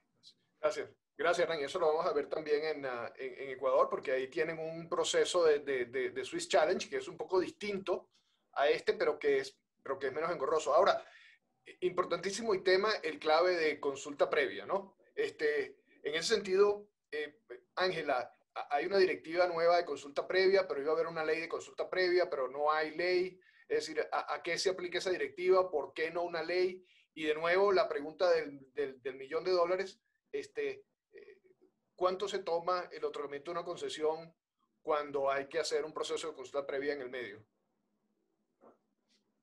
Bueno, Jorge, a mí esa pregunta me gusta mucho y me gusta mucho porque yo misma he tratado de respondérmela muchas veces y no entiendo por qué nosotros pretendemos seguir legislando por los laditos con una figura que simplemente no está creada con ese fin. Yo creo que nosotros tenemos que tener una ley estatutaria. Y creo que tenemos que tener una ley estatutaria por tres motivos principales. El primero, la consulta previa es un derecho fundamental. Y en la medida en que es un derecho fundamental, nuestra constitución dice que se regula a través de una ley estatutaria. No a través de directivas, no a través de decretos, no, a través de una ley estatutaria. En segundo lugar, me parece que la directiva no logra de ninguna manera solucionar las críticas que por años se le han hecho a la consulta previa. Entonces, por solo citar algunos ejemplos, no, no termina aclarando el tema de las comunidades itinerantes o de realmente estoy haciendo la consulta con la comunidad que tengo que estarla haciendo, van a salirme cinco comunidades más a la mitad, no nos resuelve ese punto. No nos resuelve el tema de la representatividad de las comunidades. Entonces sigo sin saber si estoy o no negociando con el que es el representante legítimo de la comunidad. Sigo sin saber, sigo sin establecer si va a haber o no efectivamente un marco temporal para que se lleve a cabo eh, esta consulta. Sigo sin saber qué es realmente la afectación directa, etcétera, etcétera. Y finalmente, porque me parece que la expedición de una ley estatutaria necesariamente va a dar más certeza jurídica, en la medida en que se va a dar menos campo de acción a la jurisprudencia para que sea la que, como hasta la fecha, ha determinado cuáles son los límites en medio de los cuales debe moverse esta consulta previa. Eh, ¿Qué otra? Me hiciste muchas preguntas, Jorge, seguidas. Entonces la otra... ¿Cómo funciona, ¿Cómo funciona el otorgamiento de concesiones en términos temporales cuando hay una consulta previa en el medio o cuando hay que agotar la consulta previa? Ok, perfecto. Entonces, ahí que tenemos, tenemos el problema de que pues tiene que ser antes y, y que como lo dije, no existe realmente un límite temporal para llevar a cabo una consulta previa. Y este es un tema que ha generado mucho debate entre pues, los posibles concesionarios y las comunidades. ¿Por qué? Porque para una compañía minera el tiempo es dinero. Entonces es de la mayor importancia saber cuánto tiempo me voy a demorar en hacer una consulta previa. Mientras que las comunidades lo ven, en cierta forma, como una violación de su cosmovisión y de otro lado lo ven como un incentivo perverso que lo que va a hacer es que las, las compañías mineras más bien quieran hacer que el tiempo transcurra y no vean la necesidad de, llegar a un acuerdo y ver de esta manera eh, pues agotado el requisito de consulta previa. La directiva toca el tema tímidamente y lo que dice realmente es que en el proceso de preconsulta que es cuando se debe plantear la ruta metodológica, debe indicarse cuánto se va a demorar el proceso de consulta previa. Sin embargo, no establece un marco legal fijo, que por ejemplo el proyecto de ley propuesto por Cambio Radical sí lo propone, dice que debe ser de un año eh, y que solamente pues en algunos eventos debe ampliarse por seis meses más. Y, y ahí además en este punto, eh, como... Un un año hace que se se tarde en otorgar una concesión dos años. Eso es comercialmente inviable, ¿no? Exacto, exacto. Sin embargo, ahí una vez más, y pues tenemos el problema de, tanto eh, el legislador que tiene que conjugar los intereses tanto de las comunidades como de las compañías, y que yo creo que no podemos pasar por alto que cuando uno está llevando a cabo una consulta previa, al igual que ocurre con todos los otros temas que hemos tratado, como habló Hernán, de los temas de consulta popular, participación ciudadana, al final de cuentas todo lo que uno persigue es obtener la licencia social. Entonces, puede que uno piense comercialmente no es viable, pero no va a ser viable igual tampoco si no, si no lograste convencerlos. Las comunidades lo han demostrado en Colombia, que son supremamente contestatarias, utilizarán todas las vías de hecho o de derecho a su alcance para impedir un proyecto con el que no estén de acuerdo. Entonces... perdón, pero pasar un poco, pasar un poco a, a, a, a, Hernando con la pregunta, ¿eso no, se, ¿eso no se soluciona o no se soluciona en gran medida con un incentivo de mayor porcentaje de regalías a las, a las comunidades. y tenemos pues la ley de regalías que se, que se, que se, que se aprobó últimamente. ¿Cómo ves tú, Hernando, esa, esa, el impacto de esa ley en procesos tan, tan complejos y que pueden durar tanto tiempo como el que nos comentaba Ángela. Desde luego, yo pienso que uno de los factores era que inicialmente en 1994 a los municipios les transferían en números redondos cerca del 80% de las regalías directas. Entonces los municipios lo que se dedicaban era a la malversación.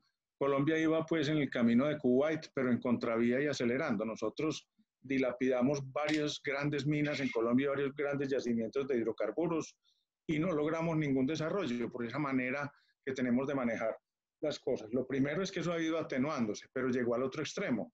Se pasó de tener un 11.2% en favor de los municipios como municipios mineros, petroleros, portuarios, y afortunadamente se volvió a corregir el error. Ya hay una cosa más intermedia que les dan hasta un 25% a los municipios, departamentos y productores. Ahí hay una, un proceso de, de, restablecimiento de las relaciones con los municipios, que ese es parte del enfrentamiento y de la polarización alrededor de los proyectos mineros. Claro que también hay un problema estructural, es en el Sistema Nacional de Regalías. Es de una capacidad burocrática infinita. Se dedicaron a hacer regalos y donaciones y proyecticos puntuales y así nosotros hemos dilapidado, como mencionaba, un Cravo Norte, un Cusiana, un Cerrejón, un Cerro Matoso, y no hemos obtenido ningún desarrollo. Cuando otros países, señalo Kuwait al otro extremo, que son ricos, como Colombia no es un país pobre, lo que pasa es que es un país subadministrado que es distinto. Aquí lo que falta es gerencia. yo, yo le diría al doctor Durán y al ministro Mesa que aquí lo que se requiere es administración, no más normas. Entonces se pasó, y eso está bien, de mil OCAD, órganos de administración de las regalías, a ocho, porque es que esa burocracia era absolutamente innecesaria. Hay recursos para la formalización y la reconversión. El problema es que hay un problema gerencial al interior de la agencia para lograr que la formalización funcione. Eso es un asunto que no depende del dinero, que ya está asegurado, sino de la capacidad gerencial que el doctor Durán tendrá que desplegar para lograr que esto funcione. Ahora mucho más cuando estamos en una crisis económica y parte de la reactivación son el sector primario, agrícola y minero. Si nosotros no logramos resolver el problema de la formalización, de alguna manera estamos diciéndole a la violencia que siga adelante. Es fundamental en el proceso de paz que haya una alternativa de empleo distinta. Ya tenemos 20 millones de colombianos en línea de pobreza absoluta. Entonces, los recursos para el conocimiento del potencial geológico también están asegurados desde hace varios años y el servicio geológico no avanza suficientemente sobre este tema. Ahora hay un problema de administración. Resulta que esos recursos de regalías se malversan. No solo los proyectos son mal concebidos, son mal adjudicados, sino que fuera de eso se roban el dinero independientemente de la destinación. Entonces el llamado aquí es a la Contraloría, al Gobierno Nacional, al Ministerio de Minas, a la agencia y a los mismos OCAD para que se nombre un sistema de administración distinto como el que ocurría aquí con una corporación financiera muy conocida que le prestaba a los constructores para el sótano. Si lo hacía bien, le prestaba para el primer piso. Aquí los sistemas de desembolso son perversos. Se terminan robando todo el dinero. Nadie ve si están cumpliendo con la obra o el servicio. Hay que poner también mediciones de desempeño. Pero el problema grave es el control interno del sistema de regalías y la gestión de la Contraloría. Ese es el origen del problema. Claro, ok, pero eh, gracias. Ahora, veo entonces que, hay, varias, eh, herramientas eh, que tiene tanto el gobierno como la industria para tratar de hacer un poco más eficiente el sistema de otorgamiento de derechos mineros, el sistema de, procesos autorizatorios en el sector que es fundamental para el desarrollo del sector y para la exploración, que es la que sustituye las reservas que se van explotando. Para cerrar y en los últimos dos minutos yo le preguntaría a Mariana, porque aparte de todas esas cosas está, está eh, eh, la situación de epidemia eh, que, que, tenemos, ¿no? Aparte de arreglar todas esas cosas, ¿cómo ves tú el impacto que ha tenido la situación de COVID-19 en, en, el, en el sector y, y, y, hacia dónde vamos de aquí en adelante. Dos minutos, please. Please. De acuerdo. Bueno, definitivamente el impacto ha sido grande porque esto ha implicado eh, eh, cambios en la manera en cómo se están ejecutando las operaciones. Yo creo que, para concretártelo, porque se puede hablar muchísimo, eh, cambios que han tenido que hacerse, adecuación de la infraestructura, porque ustedes saben que estábamos en un aislamiento preventivo que ya ha venido cambiando, protocolos que se han implementado en temas de bioseguridad que implican, por supuesto, distancia entre las personas, el manejo del todo, todo, todo el equipo de bioseguridad, los tapabocas, las, las bragas, etc. Entonces, adecuar la infraestructura para el nuevo funcionamiento bajo esta nueva normalidad es totalmente importante, eh, lo cual incluye, eh, por ejemplo, implementar un protocolo de pruebas antes y después de que entren a las minas, el tema de los viajes y la movilidad, cómo manejan el personal, de repente reorganizar los horarios, establecer eh, nuevos turnos rotatorios para, para, para, acomodar el personal y en algunos casos reducir el personal, eh, que es totalmente importante. Y esto además tratando de que todo vuelva a la normalidad y de esta manera eh, también acelerar el tema de la cadena de suministro, que es bien importante eh, para que pueda seguir todos los temas en operación. Así que yo, otro tema importantísimo para finalizar, la virtualidad. La virtualidad la vimos, por ejemplo, en todos los intentos que se hicieron en los temas de consulta previa. No, no necesariamente es el mejor ejemplo para probar esta, estas nuevas, eh, eh, eh, el tema de la virtualidad. Y todo lo que adelanta la Agencia Nacional de Minería, de Minería en relación con los temas de fiscalización a través no solo de la virtualidad, sino involucrando todos los temas de innovación, como son la fiscalización a través de drones.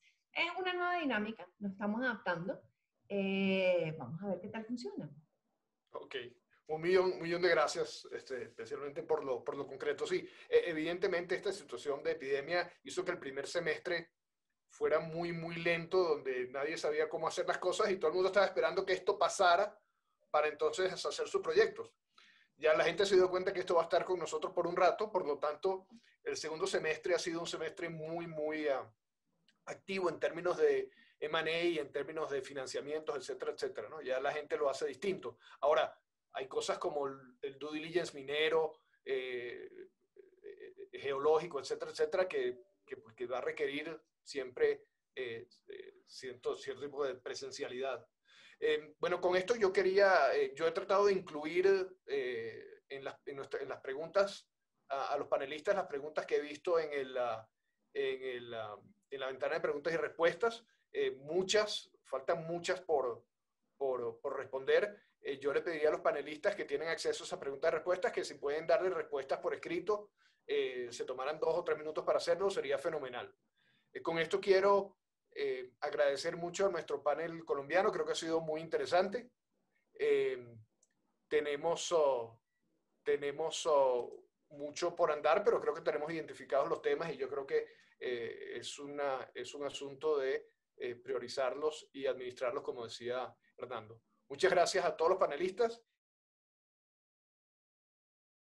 Le doy la bienvenida entonces a eh, Diego Benalcázar, el líder de eh, Lumina y Luminex, ah, que es una empresa que tiene muchos, son dos empresas que tienen muchos proyectos en Ecuador y que han desarrollado un plan de negocios muy exitoso, especialmente en el boom Ah, de la minería en Ecuador en los últimos años. Eh, tenemos a, a Steven Gamboa, que es eh, socio en GSG Abogados, eh, basado en Guayaquil.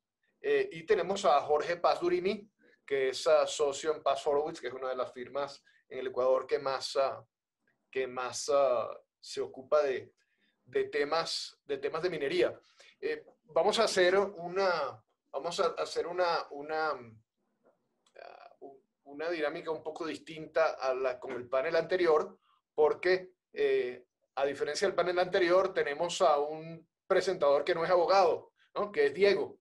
Entonces, lo que me gustaría es que Diego nos hiciera una pequeña, un pequeño recorrido por sus proyectos y los, y, los, y los temas que ha presenciado en esos proyectos, de forma que luego entonces podamos hacerle preguntas específicas y a los abogados en el panel preguntas específicas eh, sobre esos temas y ver eh, cómo, cómo los ha gerenciado el Ecuador y qué falta por hacer. Diego, contigo entonces. Muy amable, gracias Jorge. Aquí ah, ah, abriendo, abriendo el, panel, eh, primero quiero agradecer por la invitación y, voy a utilizar eh, los proyectos del grupo Lumina, eh, Lumina Gold y Luminex, como un estudio de caso y todas las adversidades que hemos tenido para poder lograr posicionar, digamos, los proyectos, avanzarlos y quitarles el riesgo político, ambiental y social al punto en, que, en que los tenemos hoy por hoy. En ese sentido, eh, voy, a, voy a compartir pantalla, si me permites.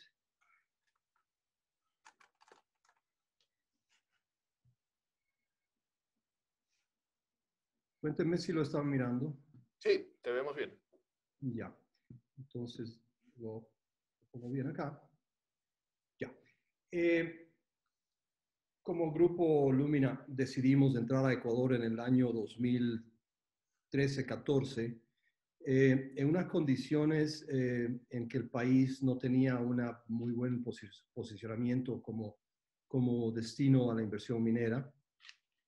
Es, sin embargo, porque nuestro grupo tiene una filosofía de ser contrarios en el, en el, en el sentido de adelantarnos para estar posicionados cuando las cosas eh, marchen mejor y también adelantarnos a, a, desarrollar proyectos de un commodity que lo vemos a, a, mediano plazo que vaya a tener valor, ¿no es cierto? Entonces, Ecuador era, era eh, digamos, un destino ideal. Con mi experiencia de muchos años en Latinoamérica y específicamente en Ecuador, logré invitar al grupo y empezamos eh, eh, pues con Lumina, con Lumina Gold a, a, a, posicionarnos con la adquisición del proyecto Cangrejos primero. Y un año más tarde eh, formamos, año y medio más tarde, eh, otra compañía listada, Luminex Resources, en donde metimos una cantidad de proyectos en portafolio, eh, producto de una apertura, primero de una negociación inicial privada con una compañía listada en bolsa también, y este era el, el proyecto Condor. Sin embargo, y en el año 2016, cuando se abrió la posibilidad de una subasta minera a finales de, del periodo de gobierno de Rafael Correa, cuando por fin el gobierno que duró 10 años, luego de haber hecho, cometido un error, eh, eh, promulgando un mandato minero, entendió que es importantísimo desarrollar la industria en un país como Ecuador. Eh, entonces fuimos capaces de solicitar y ganar el 100% de las áreas que las tenemos hoy por hoy en el portafolio. Ecuador es una continuación de la cordillera real de los Andes. por no decir menos, creo que tiene igual o mayor potencial que los países vecinos porque eh, es un símil, sin embargo, está subexplorado y todos los recursos que se pueden encontrar todavía siguen a, poca profundidad. Tenemos en, en, realidad dos grandes eh, corredores mineralizados, la cordillera el subandino eh, occidental, de la cordillera occidental de los Andes, y el, y el subandino oriental. Eh, no, no, somos ricos en, en, en, no metálicos porque no tenemos cuencas sedimentarias vastas como la que tiene el norte de Colombia, pero extremadamente ricos en oro y cobre. Esas son las provincias metalogénicas nuestras. Ok, entonces yendo un poquito más allá, en el, en el como proyecto principal que hemos desarrollado en los, cuatro años eh, ha sido el proyecto Cangrejos, eh, bajo Lumina Gold. Y bajo Luminex, todo el paquete de concesiones del área Cóndor y algunas concesiones que las hemos eh, negociado con uh, JV Agreements, con inversiones serias importantes. El grupo de concesiones Pegasus, tenemos un joint venture con, uh, con Anglo American el grupo de concesiones Starkey, que tenemos uh, un socio eh, estratégico también ahí, BHP. En los dos casos de ellos son los operadores. Y nosotros, eh, con toda la, la, la, capacidad y fortaleza para seguir desarrollando proyectos, hemos dedicado muchísimo tiempo especialmente al proyecto de fondo. En total, somos seguramente el segundo, la segunda compañía con mayor hectareaje en el país. Eh, voy a empezar con Lumina Gold y el proyecto Cangrejos. Eh, eh, como siempre, el forward-looking statement. Entonces, eh, tenemos que vivir de algo. Eso se lo, debo, se lo debemos al, al, área legal, correcto. Entonces, fíjate, solo voy a enseñar un slide aquí para, para, para eh, descifrar de qué se trata el proyecto de, de, de, es un pórfido de oro-cobre situado muy cerca del puerto Machala, solo a 40 kilómetros del puerto Machala, con una posición estratégica increíble. Este pórfido es de edad miocénica, está implementado en, eh, un batolito eh, cercano a Santa Rosa, eh, en donde se había explorado en el pasado por, parte de Newmont en asociación con Odin Mining. Nosotros adquirimos Odin, Odin Mining, cogimos la data, la información y lo seguimos explorando al punto en que seguíamos creciendo el tamaño del recurso en este pit principal, futuro pit principal, que es el pit Cangrejos. Inicialmente habían pocos pozos con una, profundidad promedio de 400 metros más o menos. Seguimos eh, perforando y eh, llegamos en el año 2017 a tener un, un, tamaño inferido de recursos que iba por, la, por el límite más o menos de 550 metros. Eh, hasta noviembre del 2019 seguimos perforando y dándole más ah, ah, información y en profundidad para haber llegado a un recurso inferido muy, muy significativo a profundidades de hasta casi 900 metros. Eh, en paralelo, empezamos también a perforar un área muy importante a 500 metros de distancia de este pit, que se llama la Gran Bestia. Y en la Gran Bestia, pues hemos tenido resultados fabulosos que vienen con mineralización desde superficie para abajo. Hoy por hoy, en estos dos pits, tenemos la reserva de oro primaria más grande del país. 17.9 millones de onzas de recurso inferido. Y este proyecto estamos llevándole ya para prefactibilidad. Entonces, ah, solo por ponerlo en, contexto, yo quisiera revisar algunos datos del último eh, estudio económico preliminar.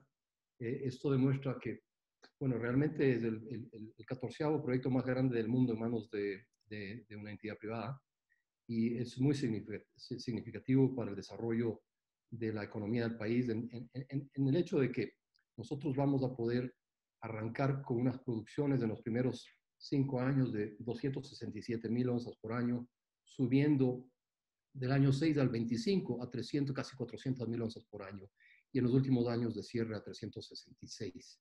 El cobre es un adicional, pero no es tan importante, es, es, es un proyecto de, primariamente de, de, de oro. Y los procesos, como son de ley baja, son de altísimo volumen, lo cual quiere decir que si nos vamos a, a este histograma de acá abajo, arrancaríamos con una inversión en CAPEX de, un millón, de, mil millones de dólares, de un billón de dólares, con una planta instalada con una capacidad de 40 mil toneladas por día, y en el año 6 doblaríamos la capacidad de la planta por una inversión adicional de 454 millones para llevar este proceso a 80 mil toneladas por día. Tiene números eh, muy importantes en, uh, en cuanto al costo del proceso, eh, relativamente controlados. El net cash cost, eh, más o menos en 545 y 600 dólares por onza en, la, vida útil. Y el valor presente neto del proyecto antes de impuestos, 4.150 millones de dólares. ¿Qué hicimos desde el año 18 eh, hasta el presente? Eh, pues perforamos 40.000 metros eh, adicionales, doblamos el tamaño del recurso, eh, incrementamos el conocimiento y mejoramos la, la información de, de, la recuperación metalúrgica, que para, para ponerlo en contexto es, tiene altísima recuperación en oro y se podrían aquí producir, un, digamos, un doré en oro, concentrado de cobre y concentrado de molibdeno. Esos serían los tres productos. Se ha hecho una cantidad importante de ingeniería a nivel de prefactibilidad.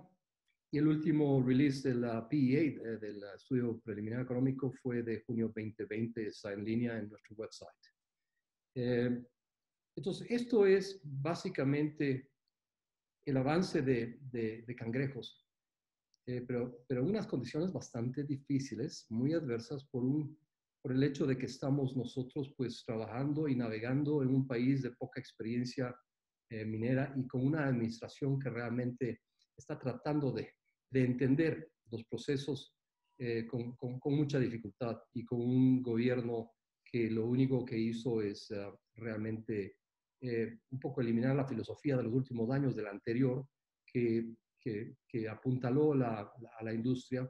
Entonces, este es un negocio de largo plazo y hay que saber acomodarse a las diferentes administraciones y hay que caminar con las administraciones para poder lograr de que tenga una coherencia el tema de la, de la, de la gerencia eh, de las entidades relacionadas.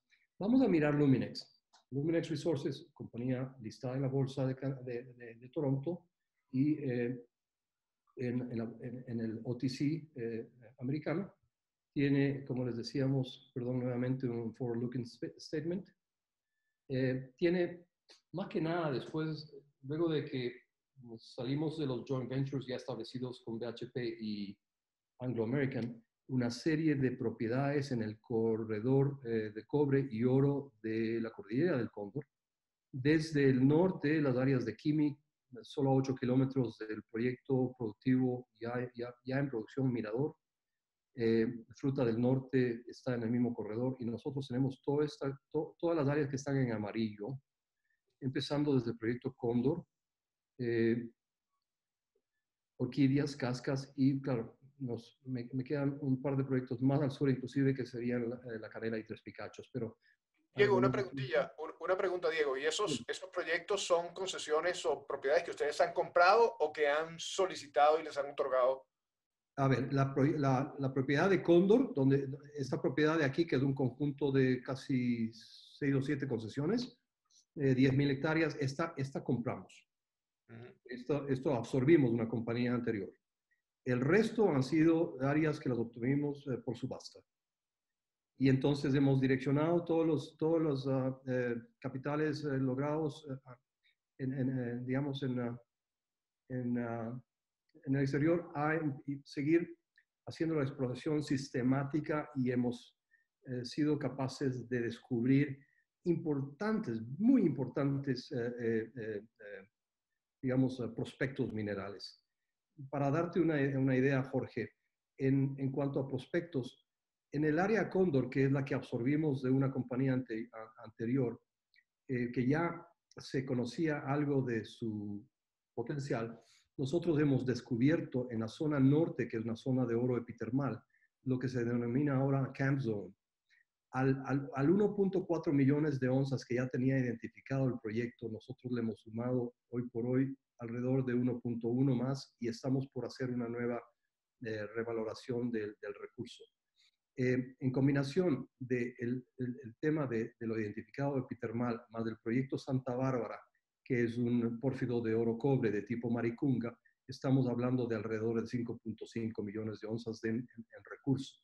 Pero más allá de esto, que los venimos perforando con una eh, muy interesante, eh, eh, digamos, geometría del depósito, eh, tenemos otro gran descubrimiento que se denomina prometedor. Estamos haciendo todas las picas de un terreno muy difícil. Está justamente en la frontera con el Perú, en los altos de la cordillera del Cóndor. Prometedor también es un prospecto de, de, oro que tiene su continuidad con un prospecto de cobre eh, eh, un poquito más al norte. Lo estaríamos perforando el primer quarter del siguiente año. Y en los últimos seis meses hemos hecho un descubrimiento fabuloso. Este de acá se llama Nayumbi, también es de tipo epitermal, es muy parecido al proceso de descubrimiento de fruta del norte, es un, blanco, es un blanco escondido debajo de una capa de, de, de sedimentos cretácicos, pero a diferencia de todo el resto de, de, eventos en, la, en, el corredor mineralizado del cóndor, este desde una edad mucho más temprana, es, es post-cretácico. Entonces es un modelo diferente, tenemos uh, realmente una, una, una red de, muestras de suelos y de roca con valores de 60, 80 ppm eh, en roca en sitio. Entonces estamos muy, muy, muy dedicados a seguirlo desarrollando. Y esto es Cóndor. Y si nos vamos a los proyectos que eh, subastamos, eh, lo más importante hoy por hoy está en Cascas, sin dejar de lado eh, que, hemos, que hemos mejorado y hemos descubierto un pórfido aquí en Tres Picachos de tipo, eh, un, un pórfido más bien de tipo magnetítico, eh, pero Cascas. Cascas es una, ah, un área en donde quizá lo vemos acá. Es una área que tiene una huella anomálica de cobre bastante importante de más o menos 5.5 por 2,5 kilómetros de ancho. Este le vamos a, perforar, es, es, netamente un, un, porfido eh, de edad jurásica implementado o impuesto en el, en el grupo Zamora que se denomina, en el batolito de Zamora, lo vamos a empezar a perforar en enero de, este, del 21, ya tenemos trochas, plataformas, campamentos, etcétera, etcétera. Y, el, y, un, y un segundo descubrimiento en base a la, a la, geoquímica de suelos y también por efectos de eh, geofísica aeroportada tipo ZTEM, un importante descubrimiento de una gran anomalía de oro que la llamamos Yuncum. Shakai es la de cobre, Yuncum es la... Eh, entonces, ya podrían ver por lo menos eh, un anuncio de prensa de Shakai que está en nuestro, nuestra página web. pero esto no viene gratis. Esto realmente ha requerido de poder adaptarse a un periodo de tiempo con una administración muy deficiente. Muy deficiente por el hecho de que no tienen el bagaje ni la experiencia de un país eh, minero como lo podría tener Colombia o Perú. Eh, también porque ha sido un periodo de aprendizaje en cuatro años de gobierno dos son de calentar el puesto y dos de entender eh, qué es lo que había que hacer y para el momento que se puede implementar ya están por irse. Disculpa, disculpa que sea tan coloquial en esto, pero si nosotros no arrancamos con el posible futuro gobierno a educarlo, y en esto tenemos que hacer un gran esfuerzo de, de, llevarlos de la mano a que vean minas en otros países, que, que se contacten con autoridades mineras, ambientales, en, en, todos los ámbitos, para que sepan cómo cómo se puede realmente, eh, como, como bien lo dijo, creo que fue Hernán Rodríguez, gerenciar de una manera eh, programada y ah, simultánea eh, todos los ámbitos de la permisología. Ese es el mayor problema de Ecuador. No quiere decir que no puedas hacer minería en Ecuador, sí la puedes hacer, por eso es el hecho de que los hemos avanzado. ¿Cuál es mi, mi mi plan para que se discuta un poquito en base a este, a este study case eh, son básicamente cinco ejes. Eh, el primero, inversiones comprometidas por el proceso de subasta del 2016. Oye, fue muy bien hecho, muy bien estructurado, un, proceso de Swiss Challenge. Eh, se, se, llegó a, a, levantar el interés de inversiones de como cerca de 950 millones de dólares en cuatro años para exploración y eh, eh, al, final hubieron quizá los últimos ah, valores de subastas ya un poquito deformados en exceso, eso hay que controlar, pero eh, realmente sobre la base de este efecto de la subasta en el año 2018 y 2019, Ecuador tuvo como el primer rubro de inversión extranjera a, las capitales para, para, para exploración y planta y equipo. Como saben, se pusieron en marcha dos proyectos de gran escala, Mirador de Cobre, Frutal Norte de Oro, y esperamos poder seguir eh, creciendo en ese, en ese sentido. Pero ¿qué, qué, qué, qué sucede aquí? Estamos llegando al cuarto año de la subasta y no tienen capacidad administrativa de eh, hacerle el seguimiento a las inversiones porque no se han logrado obtener los permisos necesarios para avanzar y, e invertir a tiempo. Y eso es un tema que no es solo independiente de Ecuador, eso puede ser en cualquiera de nuestros países, especialmente en Latinoamérica. Cuando te demoras 3, 4 años de sacar un permiso ambiental, 2, 3, 4 años de sacar un permiso de agua, o sea, son los actos previos que requieres para hacer el primer, el primer pozo, cuando, para, cuando una licencia ambiental te demora años y se inventan eh, alternativas como scout drilling, pues hay que usarlas, pero no debería funcionar así. El segundo tema es el tema de la tema de las consultas populares y la jurisprudencia vinculante.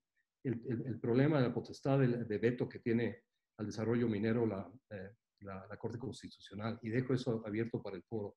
El siguiente tema es... El Diego, Diego si, si, me permites y para que nos dé tiempo de, de, tocar todos estos temas, yo lo que sugeriría es que tocáramos estos temas con, nuestros, con los abogados del panel y volviéramos a ti con preguntas específicas, si te parece. Bueno, encantado. Gracias. Sí, y evidentemente podemos visto, visto como Lumina y Luminex tienen un modelo de negocios eh, bien interesante en el cual solicitan concesiones o compran concesiones, eh, las desarrollan y luego hacen joint ventures o algunas otras las desarrollan directamente, ¿no? eso nos, nos, lleva, nos lleva a, a, a, ver un poco o experimentar cómo funciona el sistema, el sistema en el Ecuador.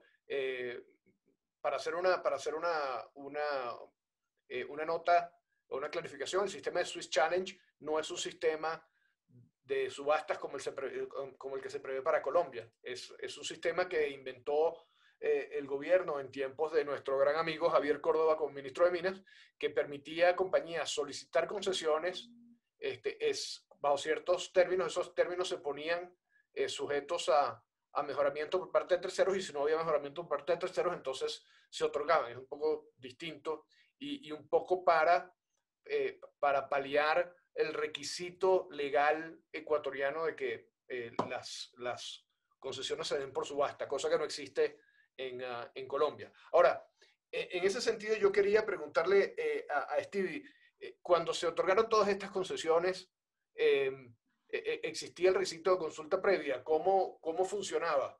y cómo eso o cómo ese requisito eh, eh, impactaría en el otorgamiento de nuevas concesiones, en el desarrollo de nuevas concesiones en este momento, eh, especialmente en virtud de lo, de lo, previsto en la última sentencia de la Corte Constitucional sobre la consulta en Cuenca.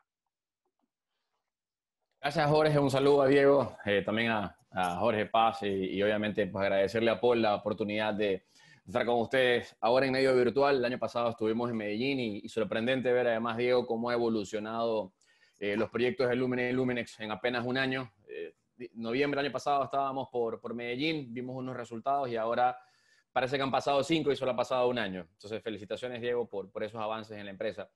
Retomando la pregunta, retomando la pregunta y, retomando un poco lo que nos decía Diego, eh, nosotros tenemos un problema como Ecuador, pero no es un problema exclusivo del sector minero, es un problema, yo creo que un poco de país y quizás muy latinoamericano, es la falta de planificación. La falta de planificación hace que tengamos que tener respuestas contra las cosas que nos suceden y no tengamos una evolución o normativa o una evolución eh, proactiva en el, tema, en, el tema normativo y obviamente pasa también en el tema regulatorio. Específicamente en el caso de la consulta previa, la consulta previa no es un concepto, un concepto nuevo, es un concepto que tiene 20 años de haberse creado por una sentencia de la OIT. Eh, el Ecuador está adherido a esos convenios y en consecuencia la tiene que aplicar la instrumentó ya normativamente hablando en la Constitución del 2008 y aparece ya como una garantía para, de derechos colectivos para comunidades eh, y debe ser aplicada en todos los proyectos en los que se pudiere afectar ambiental o socialmente una comunidad. Esa es la garantía macro.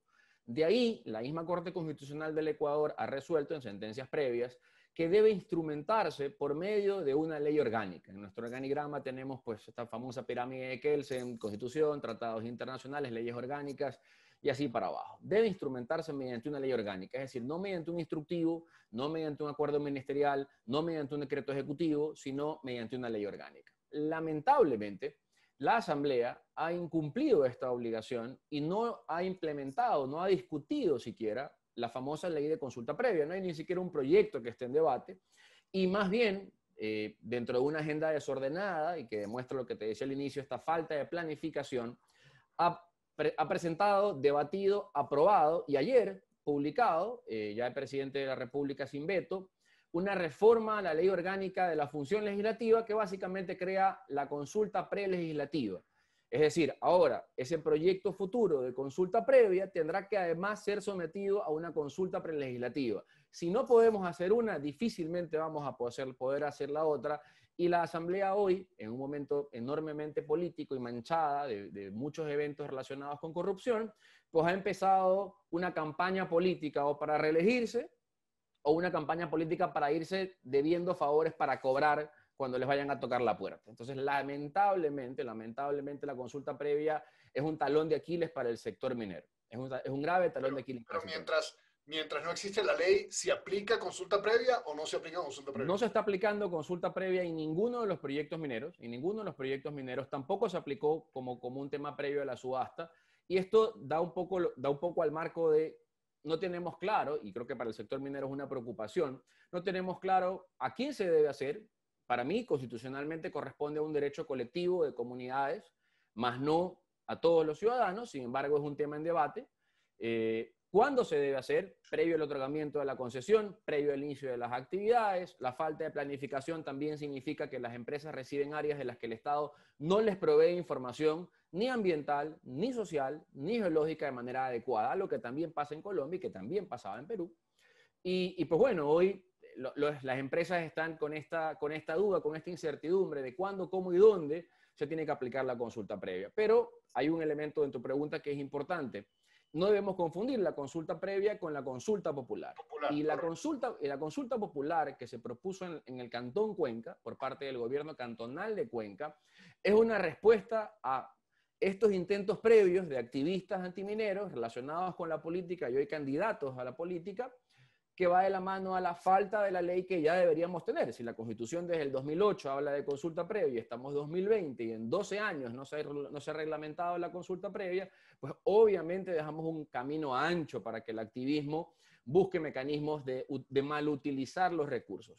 Ahora, el sector minero a veces, eh, lamentablemente, y es un mal propio de nosotros los abogados, es extremadamente alarmista y afortunadamente los empresarios no se preocupan tanto como nosotros de estos temas, porque si no, no tuviéramos minería en Ecuador.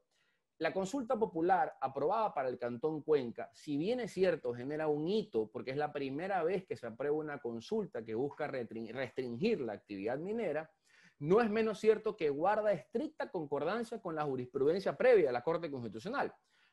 ¿Qué es lo que te quiero decir? Ya la Constitución dice, y la Corte lo ha mantenido, que las prohibiciones para la actividad minera están en las áreas mineras protegidas, ambientalmente protegidas, en las zonas intangibles y por consulta popular en los, perímetros urbanos, en los centros urbanos. Lo que pide el Cantón Cuenca es establecer de manera específica dentro de las competencias de su cantón las zonas de recarga hídrica de unos ríos específicos.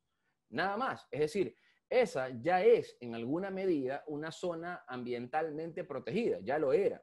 No existe, de hecho, según lo que nos ha informado el Ministerio de Minería o el Viceministerio de Minería, ninguna concesión otorgada en esas zonas de recarga hídrica. Esto realmente está apañando un tema más político que técnico o jurídico. Pero la Corte, te decía, tiene esta congruencia. ¿Por qué? Porque lo primero que dice es que se respeta la seguridad jurídica y en consecuencia, sin importar el resultado de la consulta, no se va a extinguir, caducar o revocar ninguna concesión minera previamente otorgada. Esto es importante porque le da certeza a quienes han invertido en el Ecuador, no solamente con preocupación en Cuenca, sino en todo el territorio nacional.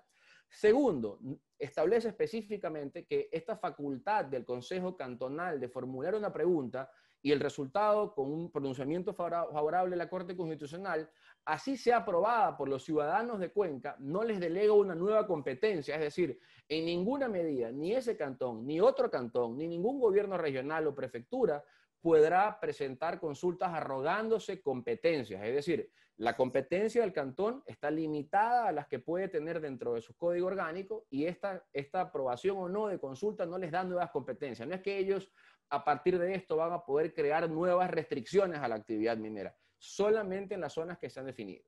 Otro o sea, que, o sea que la, la actividad minera es de competencia legislativa nacional. Así es, es un tema de interés nacional que siempre tendrá que estar regulado por ley establecida en la Asamblea Nacional. Otro tema importantísimo es que establece que le, permite a la empresa de tapa, que es la empresa de alcantarillado y agua potable de Cuenca, generar el mapa de zonas de recargas hídricas. Y uno dice, Dios mío, pero si el mismo que pregunta genera el mapa, obviamente va a prohibir todo.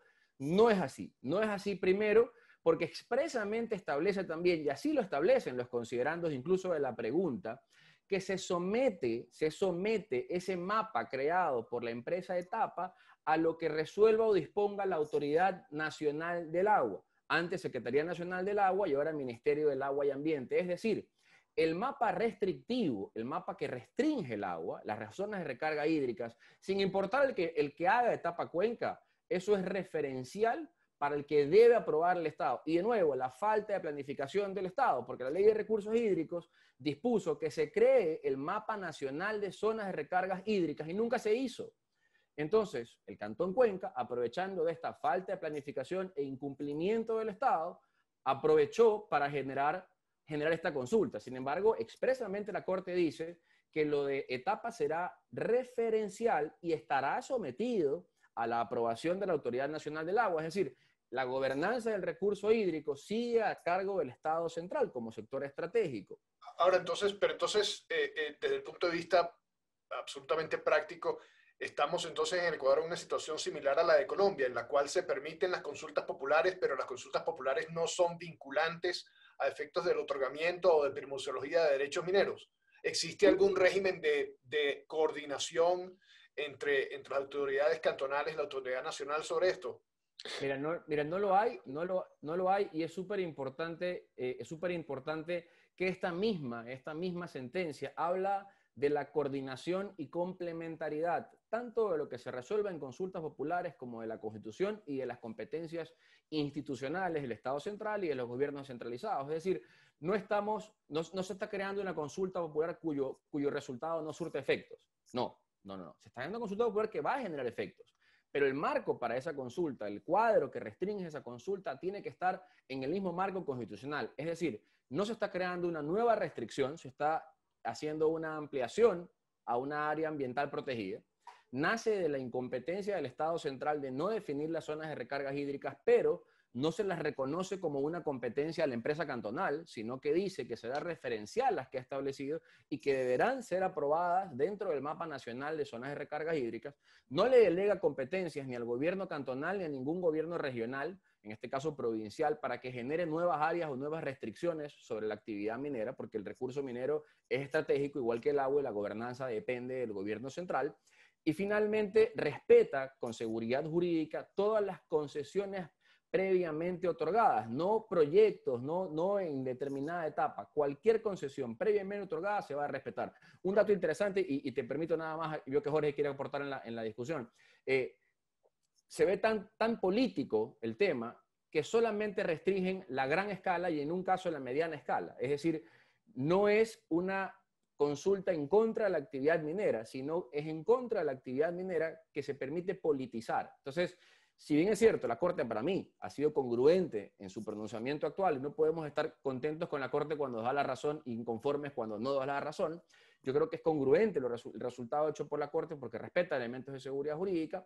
También creo que es cierto que esa consulta puntualmente tiene una carga enorme de política porque busca escoger dónde mediana y dónde gran escala va a estar restringida. Sí, gracias. Ahora, la otra pata de esa mesa, este, eh, eh, Jorge, es es la parte del, catastro minero y de los procesos eh, de otorgamiento de concesiones, que entiendo han estado, han estado suspendidos o cerrados por, cierto tiempo. Eh, ¿Hay alguna, hay alguna, eh, alguna estimación de cuándo va a abrir el catastro? ¿Será durante este gobierno? ¿No será durante este gobierno? ¿Cuáles son las consecuencias de que el catastro esté cerrado para los proyectos existentes? ¿Cómo eso impacta la fluidez de los proyectos en el Ecuador? Eh, Jorge, qué gusto. Eh, Diego y Stevie, encantados de compartir el panel con ustedes. Eh, gracias por la oportunidad. antes de responder el tema de catastro, creo que es importante referirnos al, tema del efecto de la consulta. Y yo creo que no hay que magnificar los efectos de la resolución de la, Corte, sino analizarlos en tiempo y en espacio. el espacio, la ciudad de Cuenca los, la organización y la situación geográfica y la dependencia del agua son grandísimas. Es muy entendible que la autoridad quiera por sobre todo defender los temas de agua, pero esto está muy circunscrito a unas condiciones específicas de la cuenca en la cual se asienta la ciudad de Cuenca. Eh, perdón que coincide la palabra, pero es, es efectivamente esto. La cuenca geográfica es de muy importancia. Pero esto respecto de la situación y el potencial minero del Ecuador hacia el resto de zonas en el sur oriente o, en, la, en la costa o en el norte, no tienen esa limitación. De modo que, si bien el tema de la consulta popular está dirigido y exactamente como lo dice Stevie, politizado siempre por grupos de activistas, eh, creo que no debe ser magnificado a pensar que esto se puede eh, eh, repartir en todo el país para prohibir, aunque así quisieran muchos activistas, la actividad en todos los sectores, porque no se reúnen las mismas condiciones. Entonces, eh, es un proceso que lo vamos a ver. la consulta se va a dar. Mm, yo presumo que la votación va a ser favorable a la posición de, la, de la autoridad del agua en Cuenca, pero, como se dice, respetando esos derechos. Y más que nada, aparentemente no se afecta ninguna concesión por hoy existente. Y entonces, solamente para que digamos que es un proceso entendible, mucha gente no estará de acuerdo, pero que jurídicamente la Corte Constitucional ha seguido. Ahora bien, la parte importante, lo que tú dices, ¿en dónde puedo trabajar? Y allí viene el tema del catastro minero. En primer lugar, el catastro minero, como está actualmente, si bien no es perfecto, no está afectando a la operatividad diaria. La operatividad diaria de transferir concesiones, de registrar derechos, está funcionando con los problemas propios, los retardos, la descentralización total que tiene el Ecuador eh, tiene sus ventajas y tiene sus grandes desventajas. Eh, las ventajas es que está cerca del sector y creo que para temas de control es muy bueno. Las grandes desventajas es que no se manejan criterios uniformes necesariamente entre las distintas zonales, a veces cambian los, pero en efecto el catastro como tal el registro de los títulos mineros está funcionando y no está siendo afectado. ¿Qué es lo que, se, que no hay? Yo, de las eh, declaraciones que hemos visto el gobierno, no pensamos que vaya a operar en este año el nuevo catastro minero en el cual el gobierno ha estado empeñado en los últimos eh, par de años. Eh, por cuestiones principalmente presupuestarias, no han podido completar el sistema. Pensaría que esto estará Ah, ya en manos del nuevo gobierno y sin ese catastro no es posible entrar en nuevos otorgamientos de concesiones o en nuevas subastas.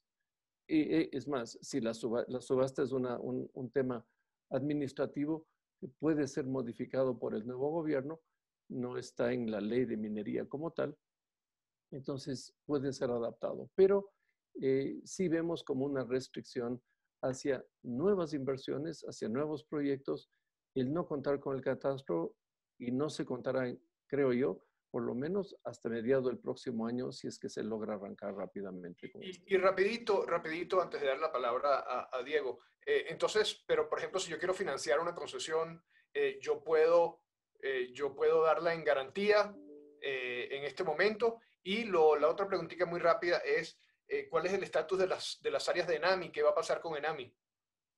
la, primera cosa, sin ningún problema, si es que, eh, aunque, eh, aunque en Ecuador la concesión es un derecho personal, la ley permite con autorización del gobierno establecerla como garantía. Ningún problema, como está en este sistema el, el, catastro, con la autorización del gobierno se puede otorgar esas garantías para el desarrollo de un proyecto que está registrado, de modo que el título está perfectamente garantizado. Ahora bien, con Enami ah, creo que aquí hay, una serie de problemas hacia futuro.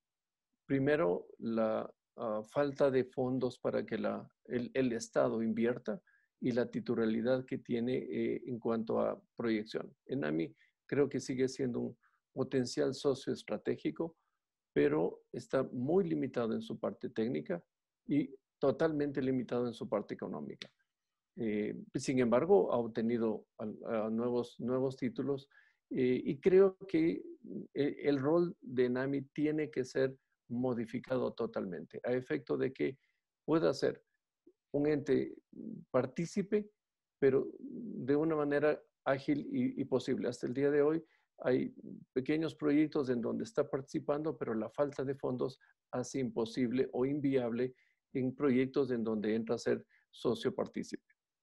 Gracias. Y Diego, ¿a ti, te, ¿a ti te afecta de alguna manera la situación del catastro? Por supuesto que sí, en varias, en varias uh, formas. La primera es que una vez que hemos llegado al cuarto año de inversiones en las áreas de subasta, eh, tú tienes, estás obligado a, a, a, solicitar el cambio de fase, a exploración avanzada. Eh, si, si bien es cierto, eh, podríamos obtener, y parece que está en proceso, una una prórroga para el periodo de cuatro años por efectos no solo de la pandemia, eh, sino por efectos de la falta de adquisición de los, de los actos previos, eh, es importantísimo tener un catastro que pueda registrar los cambios de fase, porque para cambiar, para subir a la, a la fase de exploración avanzada, tienes que reducir tu concesión, aunque sea con una hectárea.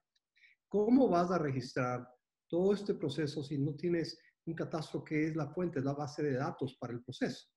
Esto ya lo hemos eh, comunicado eh, al, al, Ministerio en conversaciones directas con, con el ministro y el, vice, el, viceministro, y es un tema que realmente les preocupa y están tratando, intentando tener por lo menos esa parte operativa del catastro.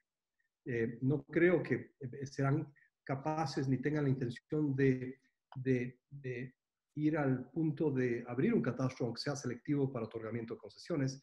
Es, esto es un ejercicio para el próximo eh, el gobierno, eh, que además requiere de una inversión y, y, una, y una contrato consultoría, porque es un sistema desactualizado del GIS.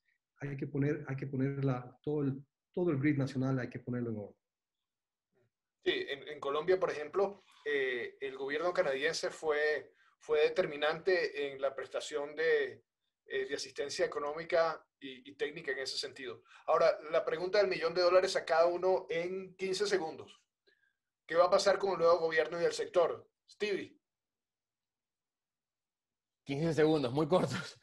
Bueno, primero, eh, yo creo que eh, suena quizás a, un, porto, un, poco parcializado, pero yo creo que peor no podemos estar.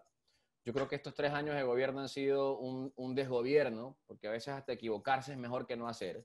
Ha sido un desgobierno y las elecciones yo particularmente las veo con optimismo hay tres candidatos fuertes, uno que es un representante del activismo antiminero en el Ecuador, que creo yo con pocas opciones. Los dos con más opciones son dos candidatos que se han manifestado públicamente a favor de la minería, a favor de la capacidad de generación de empleo técnico en territorios, unos con más discurso social que el otro, pero en, en breves rasgos, pues eh, ambos predispuestos a entender que la minería es un factor a favor.